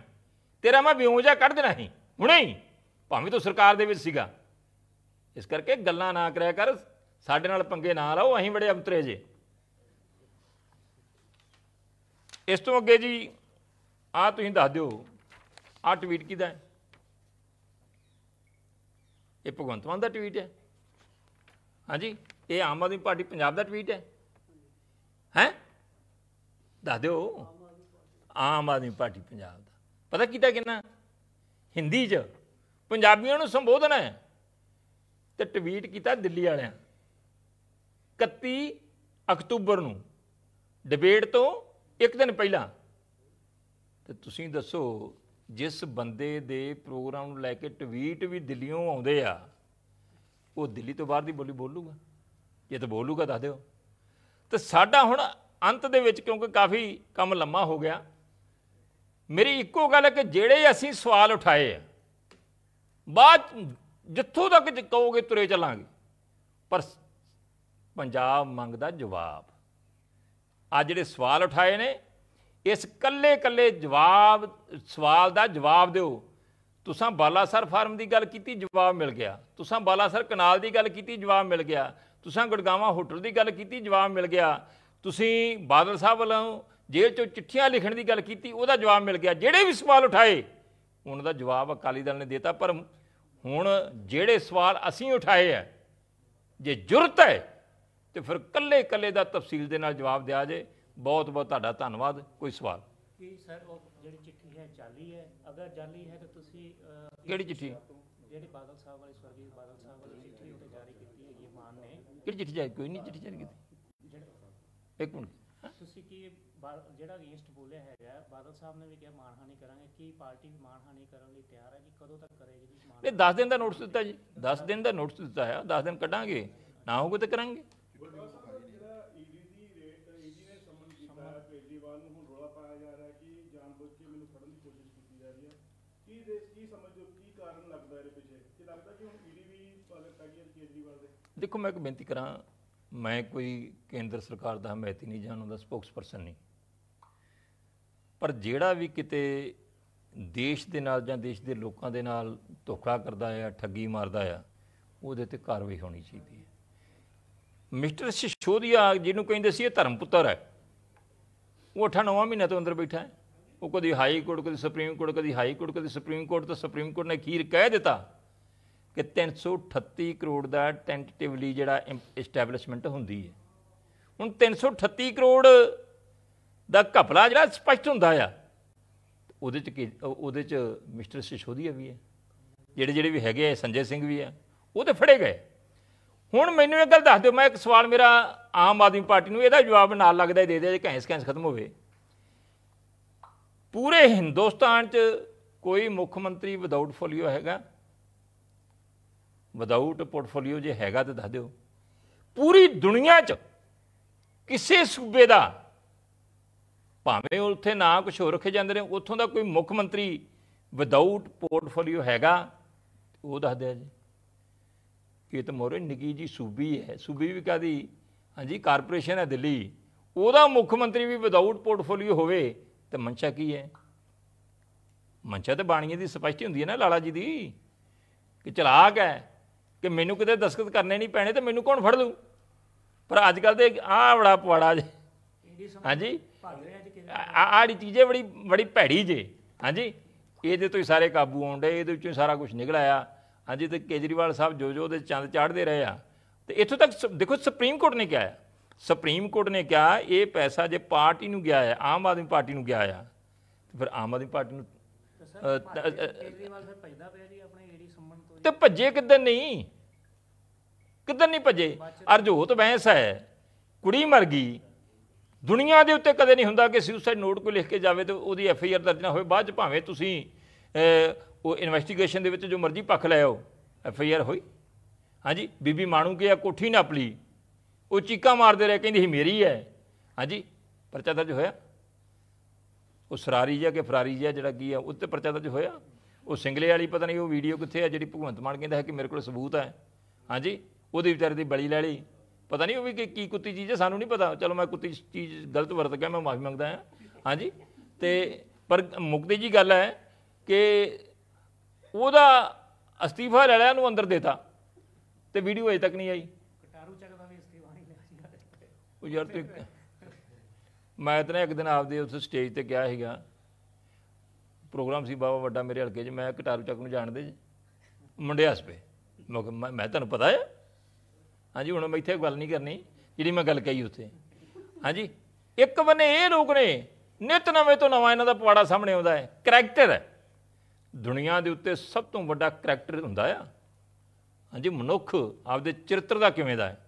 ਤੇ ਮੈਂ ਬਾਦਲ ਸਾਹਿਬ ਬਾਰੇ ਮਾੜੀ ਜੀ ਤੁਹਾਨੂੰ ਦੱਸ ਕੇ ਫਿਰ ਆਪਾਂ ਸਮਾਪਤੀ ਕਰਾਂਗੇ ਕਿ ਬਾਦਲ ਸਾਹਿਬ 에ਅਰਪੋਰਟ ਦਿੱਲੀ ਤੇ ਬੈਠੇ ਸੀ ਨਾਲ ਬੀਬੀ ਜੀ ਸੁਰਿੰਦਰ ਕੌਰ ਸੀਗੇ, ਉਦੋਂ ਜਿਉਂਦੇ ਸੀਗੇ। ਉੱਥੇ ਹੀ ਹਿਮਾ ਮਾਲਿਨੀ ਤੇ ਵਿਨੋਦ ਖੰਨਾ ਜੀ ਆ ਗਏ ਲੌਂਜ ਦੇ ਵਿੱਚ। ਉਹ ਆਏ ਮਗਰੋਂ ਤੇ ਉਹਨਾਂ ਦੀ ਫਲਾਈਟ ਪਹਿਲੋਂ ਆ ਗਈ। ਉਹ ਤੁਰ ਗਏ। ਇਹ ਬੀਬੀ ਜੀ ਨੇ ਦੱਸੀ ਸਾਨੂੰ, ਬੀਬੀ ਸੁਰਿੰਦਰ ਕੌਰ ਹੋਰਾਂ ਨੇ। ਆਂਦੇ ਜਦੋਂ ਉਹ ਦੋਨੋਂ ਚਲੇ ਗਏ ਤੇ ਬਾਦਲ ਸਾਹਿਬ ਕਹਿੰਦੇ ਆ ਵਿਨੋਦ ਖੰਨੇ ਦੇ ਨਾਲ ਉਹਦੀ ਘਰ ਵਾਲੀ ਸੀ। ਤੇ ਆਂਦੇ ਬੀਬੀ ਜੀ ਕਹਿੰਦੇ ਬਾਦਲ ਸਾਹਿਬ ਇਹ ਹਿਮਾ ਮਾਲਣੀ ਹੀ ਜਿਹਨੂੰ ਕਬਰਾਂ 'ਚ ਪਏ ਵੀ ਲੋਕੀ ਜਾਣਦੇ ਆ ਵੀ ਹਿਮਾ ਮਾਲਣੀ ਹੈਗੀ ਆ। ਤੇ ਤੁਹਾਨੂੰ ਹਿਮਾ ਮਾਲਣੀ ਬਾਰੇ ਵੀ ਨਹੀਂ ਪਤਾ? ਉਹ ਆ ਕਰੈਕਟਰ। ਇੱਥੇ ਜੋ ਆ ਚੰਦ ਚੰਡੇ ਤੁਹਾਨੂੰ ਪਤਾ ਹੀ ਹੈ ਕਰੈਕਟਰ ਰੱਖਣਾ ਚਾਹੀਦਾ। ਬਹੁਤ ਧੰਨਵਾਦ। ਥੈਂਕ ਯੂ ਜਿਹੜੀ ਬਾਦਲ ਸਾਹਿਬ ਨੇ ਜਿਹੜਾ ਕਿਹਾ ਸੁਖਬੀਰ ਬਾਦਲ ਨਾਲ ਕਿਹਾ ਕਿ ਅਸੀਂ ਕੇਸ ਕਰਾਂਗੇ ਉਹਦੇ ਵਿੱਚ ਉਹ ਕਹਿ ਰਹੇ ਕਿ ਸਾਡੇ ਕੋਲ ਚਿੱਠੀ ਹੈਗੀ ਹੈ ਅਸੀਂ ਜਵਾਬ ਦੇ ਦਾਂਗੇ ਉਹਦਾ। ਤੇ ਦੇ ਦੇਣ ਜੀ। ਅਸੀਂ ਕਦੋਂ ਕਿਹਨੇ ਨਾ ਦੇਣ? ਯਾਰ ਇਹ ਤਾਂ ਗੱਲਾਂ ਇੱਕ ਗੱਲ ਦੱਸ। ਉਹ ਤਾਂ ਵਾਰ-ਵਾਰ ਇਹ ਗੱਲਾਂ ਕਰਨਗੇ ਹੀ ਕਰਨਗੇ। ਝੂਠੀਆਂ ਗੱਲਾਂ ਛੱਡ ਛੱਡ ਕੇ ਜੀ ਬਾਲਾ ਸਰ ਫਾਰਮ ਜੀ ਬਾਲਾ ਸਰ ਕਨਾਲ ਜੀ ਗੁੜਗਾਉਂ ਹੋਟਲ ਜੀ ਟਰਾਂਸਪੋਰਟ ਜੀ ਫਲਾਣੀ ਜੀ ਢੀਂਗੜੀ ਜੀ ਹਾਂਜੀ ਗੱਲਾਂ ਕੀਤੀਆਂ ਹੀ ਆ ਨਾ। ਤੇ ਜੋ ਹੈਗਾ ਰੱਖ ਦੇਣ। ਤੇ ਗੱਲਾਂ ਦਾ ਜਵਾਬ ਮਿਲੇ ਹੀ ਆ ਨਾ। ਅਸੀਂ ਤੇ ਜਵਾਬ ਦਿੱਤੇ ਆ ਸਾਰੇ। ਜਿਹੜੀਆਂ ਗੱਲਾਂ ਅਸੀਂ ਠਾਈਆਂ ਉਹਦਾ ਜਵਾਬ ਦੇ ਤੂੰ ਤਾਂ ਮਗਰੋਂ ਆਇਆ ਨਾ ਹੁਣ। ਹਾਂ ਸੁਣਦਾ ਤੂੰ ਲੈ ਆਣਾ ਨੱਪੇ ਆਣਾ ਕਿੱਲੀ ਜੀ ਹੈ? ਹਾਂ ਵੋਟਰ ਸਾਹਿਬ ਨਗਰ ਨਿਗਮ ਦੀਆਂ ਚੋਣਾਂ ਨੂੰ ਹੁਣ ਫੇਰ ਅੱਗੇ ਪੋਸਟ ਐਕਸਟੈਂਡ ਕਰ ਗਿਆ ਲੱਗਦਾ ਹੈ ਕਿ ਅ, ਡਰੀ ਪਈ ਆ ਪੰਜਾਬ ਸਰਕਾਰ ਇਸ ਵੇਲੇ ਜੀ ਨਹੀਂ ਇਹ ਤਾਂ ਤਾਂ ਸਪਸ਼ਟ ਹੈ। ਦੇਖੋ ਕਦੇ ਵੀ ਨਗਰ ਨਿਗਮ ਦੀਆਂ ਚੋਣਾਂ ਕਦੀ ਪੋਸਟਪੋਨ ਨਹੀਂ ਹੋਈਆਂ। ਕਦੀ ਆਪਦੇ ਸਮੇਂ ਤੋਂ ਬਾਅਦ ਨਹੀਂ ਹੋਈਆਂ। ਜੇ ਹੋ ਗਈਆਂ ਮਹੀਨਾ ਦੋ ਮਹੀਨੇ ਕੋਈ ਕੋਈ ਮੇਜਰ ਕਾਰਨ ਹੋਵੇ ਇੱਥੇ ਤਾਂ ਕਾਰਨ ਹੀ ਪਤਾ ਨਹੀਂ ਲੱਗਦਾ। ਮੇਰਾ ਖਿਆਲ ਕਿ ਇਹ ਇਹ ਮਈ ਜੂਨ ਚ ਡਿਊ ਸੀ 2022 ਚ। ਹਾਂਜੀ ਤੇ ਹੁਣ ਡੇਢ ਸਾਲ ਤੋਂ ਉੱਤੇ ਹੋ ਗਿਆ ਤੇ ਵਾਲੀਵਾਲ ਵਾਰਡਬੰਦੀ ਨਹੀਂ ਹੋ ਰਹੀ ਜੀ। ਵਾਰਡਬੰਦੀ ਫਿਰ ਕਿਉਂ- ਕਿਉਂਕਿ ਚੰਦ ਬੜੇ ਚੜਦੇ ਆ। ਦਾਅਵੇਦਾਰ ਬੜੇ ਆ। ਹਾਂਜੀ। ਹਾਂ ਨਜ਼ਰ ਆ ਰਹੀ ਹੈ ਕਿਹਦੀ ਮੈਂ ਰੱਖ ਲਾਂ ਕੀ ਕਹਿੰਦੇ ਨੇ ਮਲਾਜੇਦਾਰ ਬਹੁਤੇ? ਉਹ ਕਹਿੰਦੇ ਕਿ ਸਾਡੇ ਉਹ ਕੀ ਕਹਿੰਦੇ ਤੂੰ ਦੱਸ ਦੇ ਪਹਿਲੋਂ। ਕਹਿੰਦੇ ਜਿੱਤ ਦਾ ਜਜ਼ਬਾ ਬੜਾ ਇਸ ਕਰਕੇ ਲੋਕੀ ਬੜੇ ਆ ਰਹੇ ਸਾਡੇ ਕੋਲ। ਕਿਹਦਾ ਕਿਹਦਾ ਨਾਂ ਰੱਖ ਲਾਂ? ਕਿਹਦਾ ਕਿਹਦਾ ਮਾਣ ਰੱਖ ਲਾਂ? ਕਿਹਦਾ ਕਿਹਦਾ ਮਾਣ ਰੱਖ ਲਾਂ? ਜਿੰਦ ਕੱਲੀ ਮਲਾਜੇਦਾਰ ਮਲਾਜੇਦਾਰ ਬਹੁਤੇ। ਹਾਂਜੀ ਕੁਵਰ ਵਿਜੇ ਪ੍ਰਤਾਪ ਸਿੰਘ ਬਹੁਤ ਆਪਣੀ ਪਾਰਟੀ ਦੇ ਖਿਲਾਫ ਹੋ ਰਹੇ ਨੇ ਲਗਾਤਾਰ ਹੀ ਉਹਨਾਂ ਵੱਲੋਂ ਤੰਜ ਵੀ ਕੱਸੇ ਜਾਂਦੇ ਨੇ ਕੀ ਸਮਝਦੇ ਹੋ ਜਿਹੜੀ ਲੱਗਦਾ ਉਹ ਕਹਿੰਦੇ ਮੈਂ ਰਾਜਨੀਤੀ ਦਾ ਸ਼ਿਕਾਰ ਹੋ ਗਿਆ ਕਾਰ ਹੋ ਗਿਆ ਨਹੀਂ ਦੇਖੋ ਜਿਹੜਾ ਬੰਦਾ ਰਾਜਨੀਤੀ ਗੰਦੀ ਰਾਜਨੀਤੀ ਕਰਦਾ ਕਰਦਾ ਸ਼ਿਕਾਰ ਹੋ ਗਿਆ ਤੇ ਗੰਦੀ ਸੋਚ ਵਾਲਿਆਂ ਦਾ ਸ਼ਿਕਾਰ ਹੋ ਗਿਆ ਆ। ਜਿਹੜੇ ਇਹਦੇ ਢਹਿ ਚੜੇ ਸੀ ਜਾਂ ਇਹ ਉਹਨਾਂ ਦੇ ਢਹਿ ਚੜਿਆ ਸੀਗਾ ਇਹ ਜਾਣਨ ਉਹ ਜਾਣੇ ਸਾਡਾ ਕੀ ਲੱਗਦਾ ਕਿ ਸਾਡੀ ਕਿਤੇ ਆ ਲੈਂਦੇ ਹੋ? ਫਿਰ ਕੁੰਰ ਵਿਜੇ ਪ੍ਰਤਾਪ ਨੂੰ ਦੱਸਾਂਗੇ ਕਿ ਸੱਚ ਕੀ ਹੁੰਦਾ ਹੈ। ਬਹੁਤ ਧੰਨਵਾਦ ਯਾਰ ਬਹੁਤ। ਲਾਸਟ ਸਵਾਲ ਹੈ ਐਸਵਾਈਐਲ ਦੇ ਮੁੱਦੇ ਨੂੰ ਲੈ ਕੇ ਹਰਿਆਣੇ ਵਾਲੇ ਦੀ ਵੀਡੀਓ ਬੜੀ ਵਾਇਰਲ ਹੁੰਦੀ ਹੈ ਕਿ ਅਗਲੇ ਸਾਲ ਜਦੋਂ ਵਰਤ ਤੋੜਾਂਗੇ ਤੇ ਐਸਵਾਈਐਲ ਦੀ ਪਾਣੀ ਪਿਆ ਕੇ ਮੋਰੇ ਤੂੰ ਹੀ ਪਾਇਆ ਕਰਨਾ। ਆਪੇ ਤਾਂ ਤੁਸੀਂ ਸਾਰੇ ਪਾਓ ਮੈਂ ਤਾਂ ਬੋਲਦਾ ਹੀ ਨਹੀਂ ਨਾ। ਮੇਰੇ ਮੇਰੇ ਮੇਰੇ ਵਾਲੀ ਤਾਂ ਖੰਡਾ ਚੁੱਕੀ ਰੱਖਦੀ ਐ ਇਸ ਵੇਲੇ ਨਹੀਂ ਬੰਨ ਦੇਣੀ। ਹਾਂਜੀ ਤੁਸੀਂ ਵੀ ਚੁਕਵਾਓ। ਜੇਕਰ ਜੇਕਰ ਅਕਾਲੀ ਦਲ ਆ ਕੇ ਵਿਜੇ ਪ੍ਰਤਾਪ ਸਿੰਘ ਤਾਂ ਵੀ ਇਦਾਂ ਹੀ ਪੁੱਛਿਆ ਜਾਏਗਾ ਜੀ। ਕਿਹੜਾ ਅਕਾਲੀ ਦਲ ਉਹਦੇ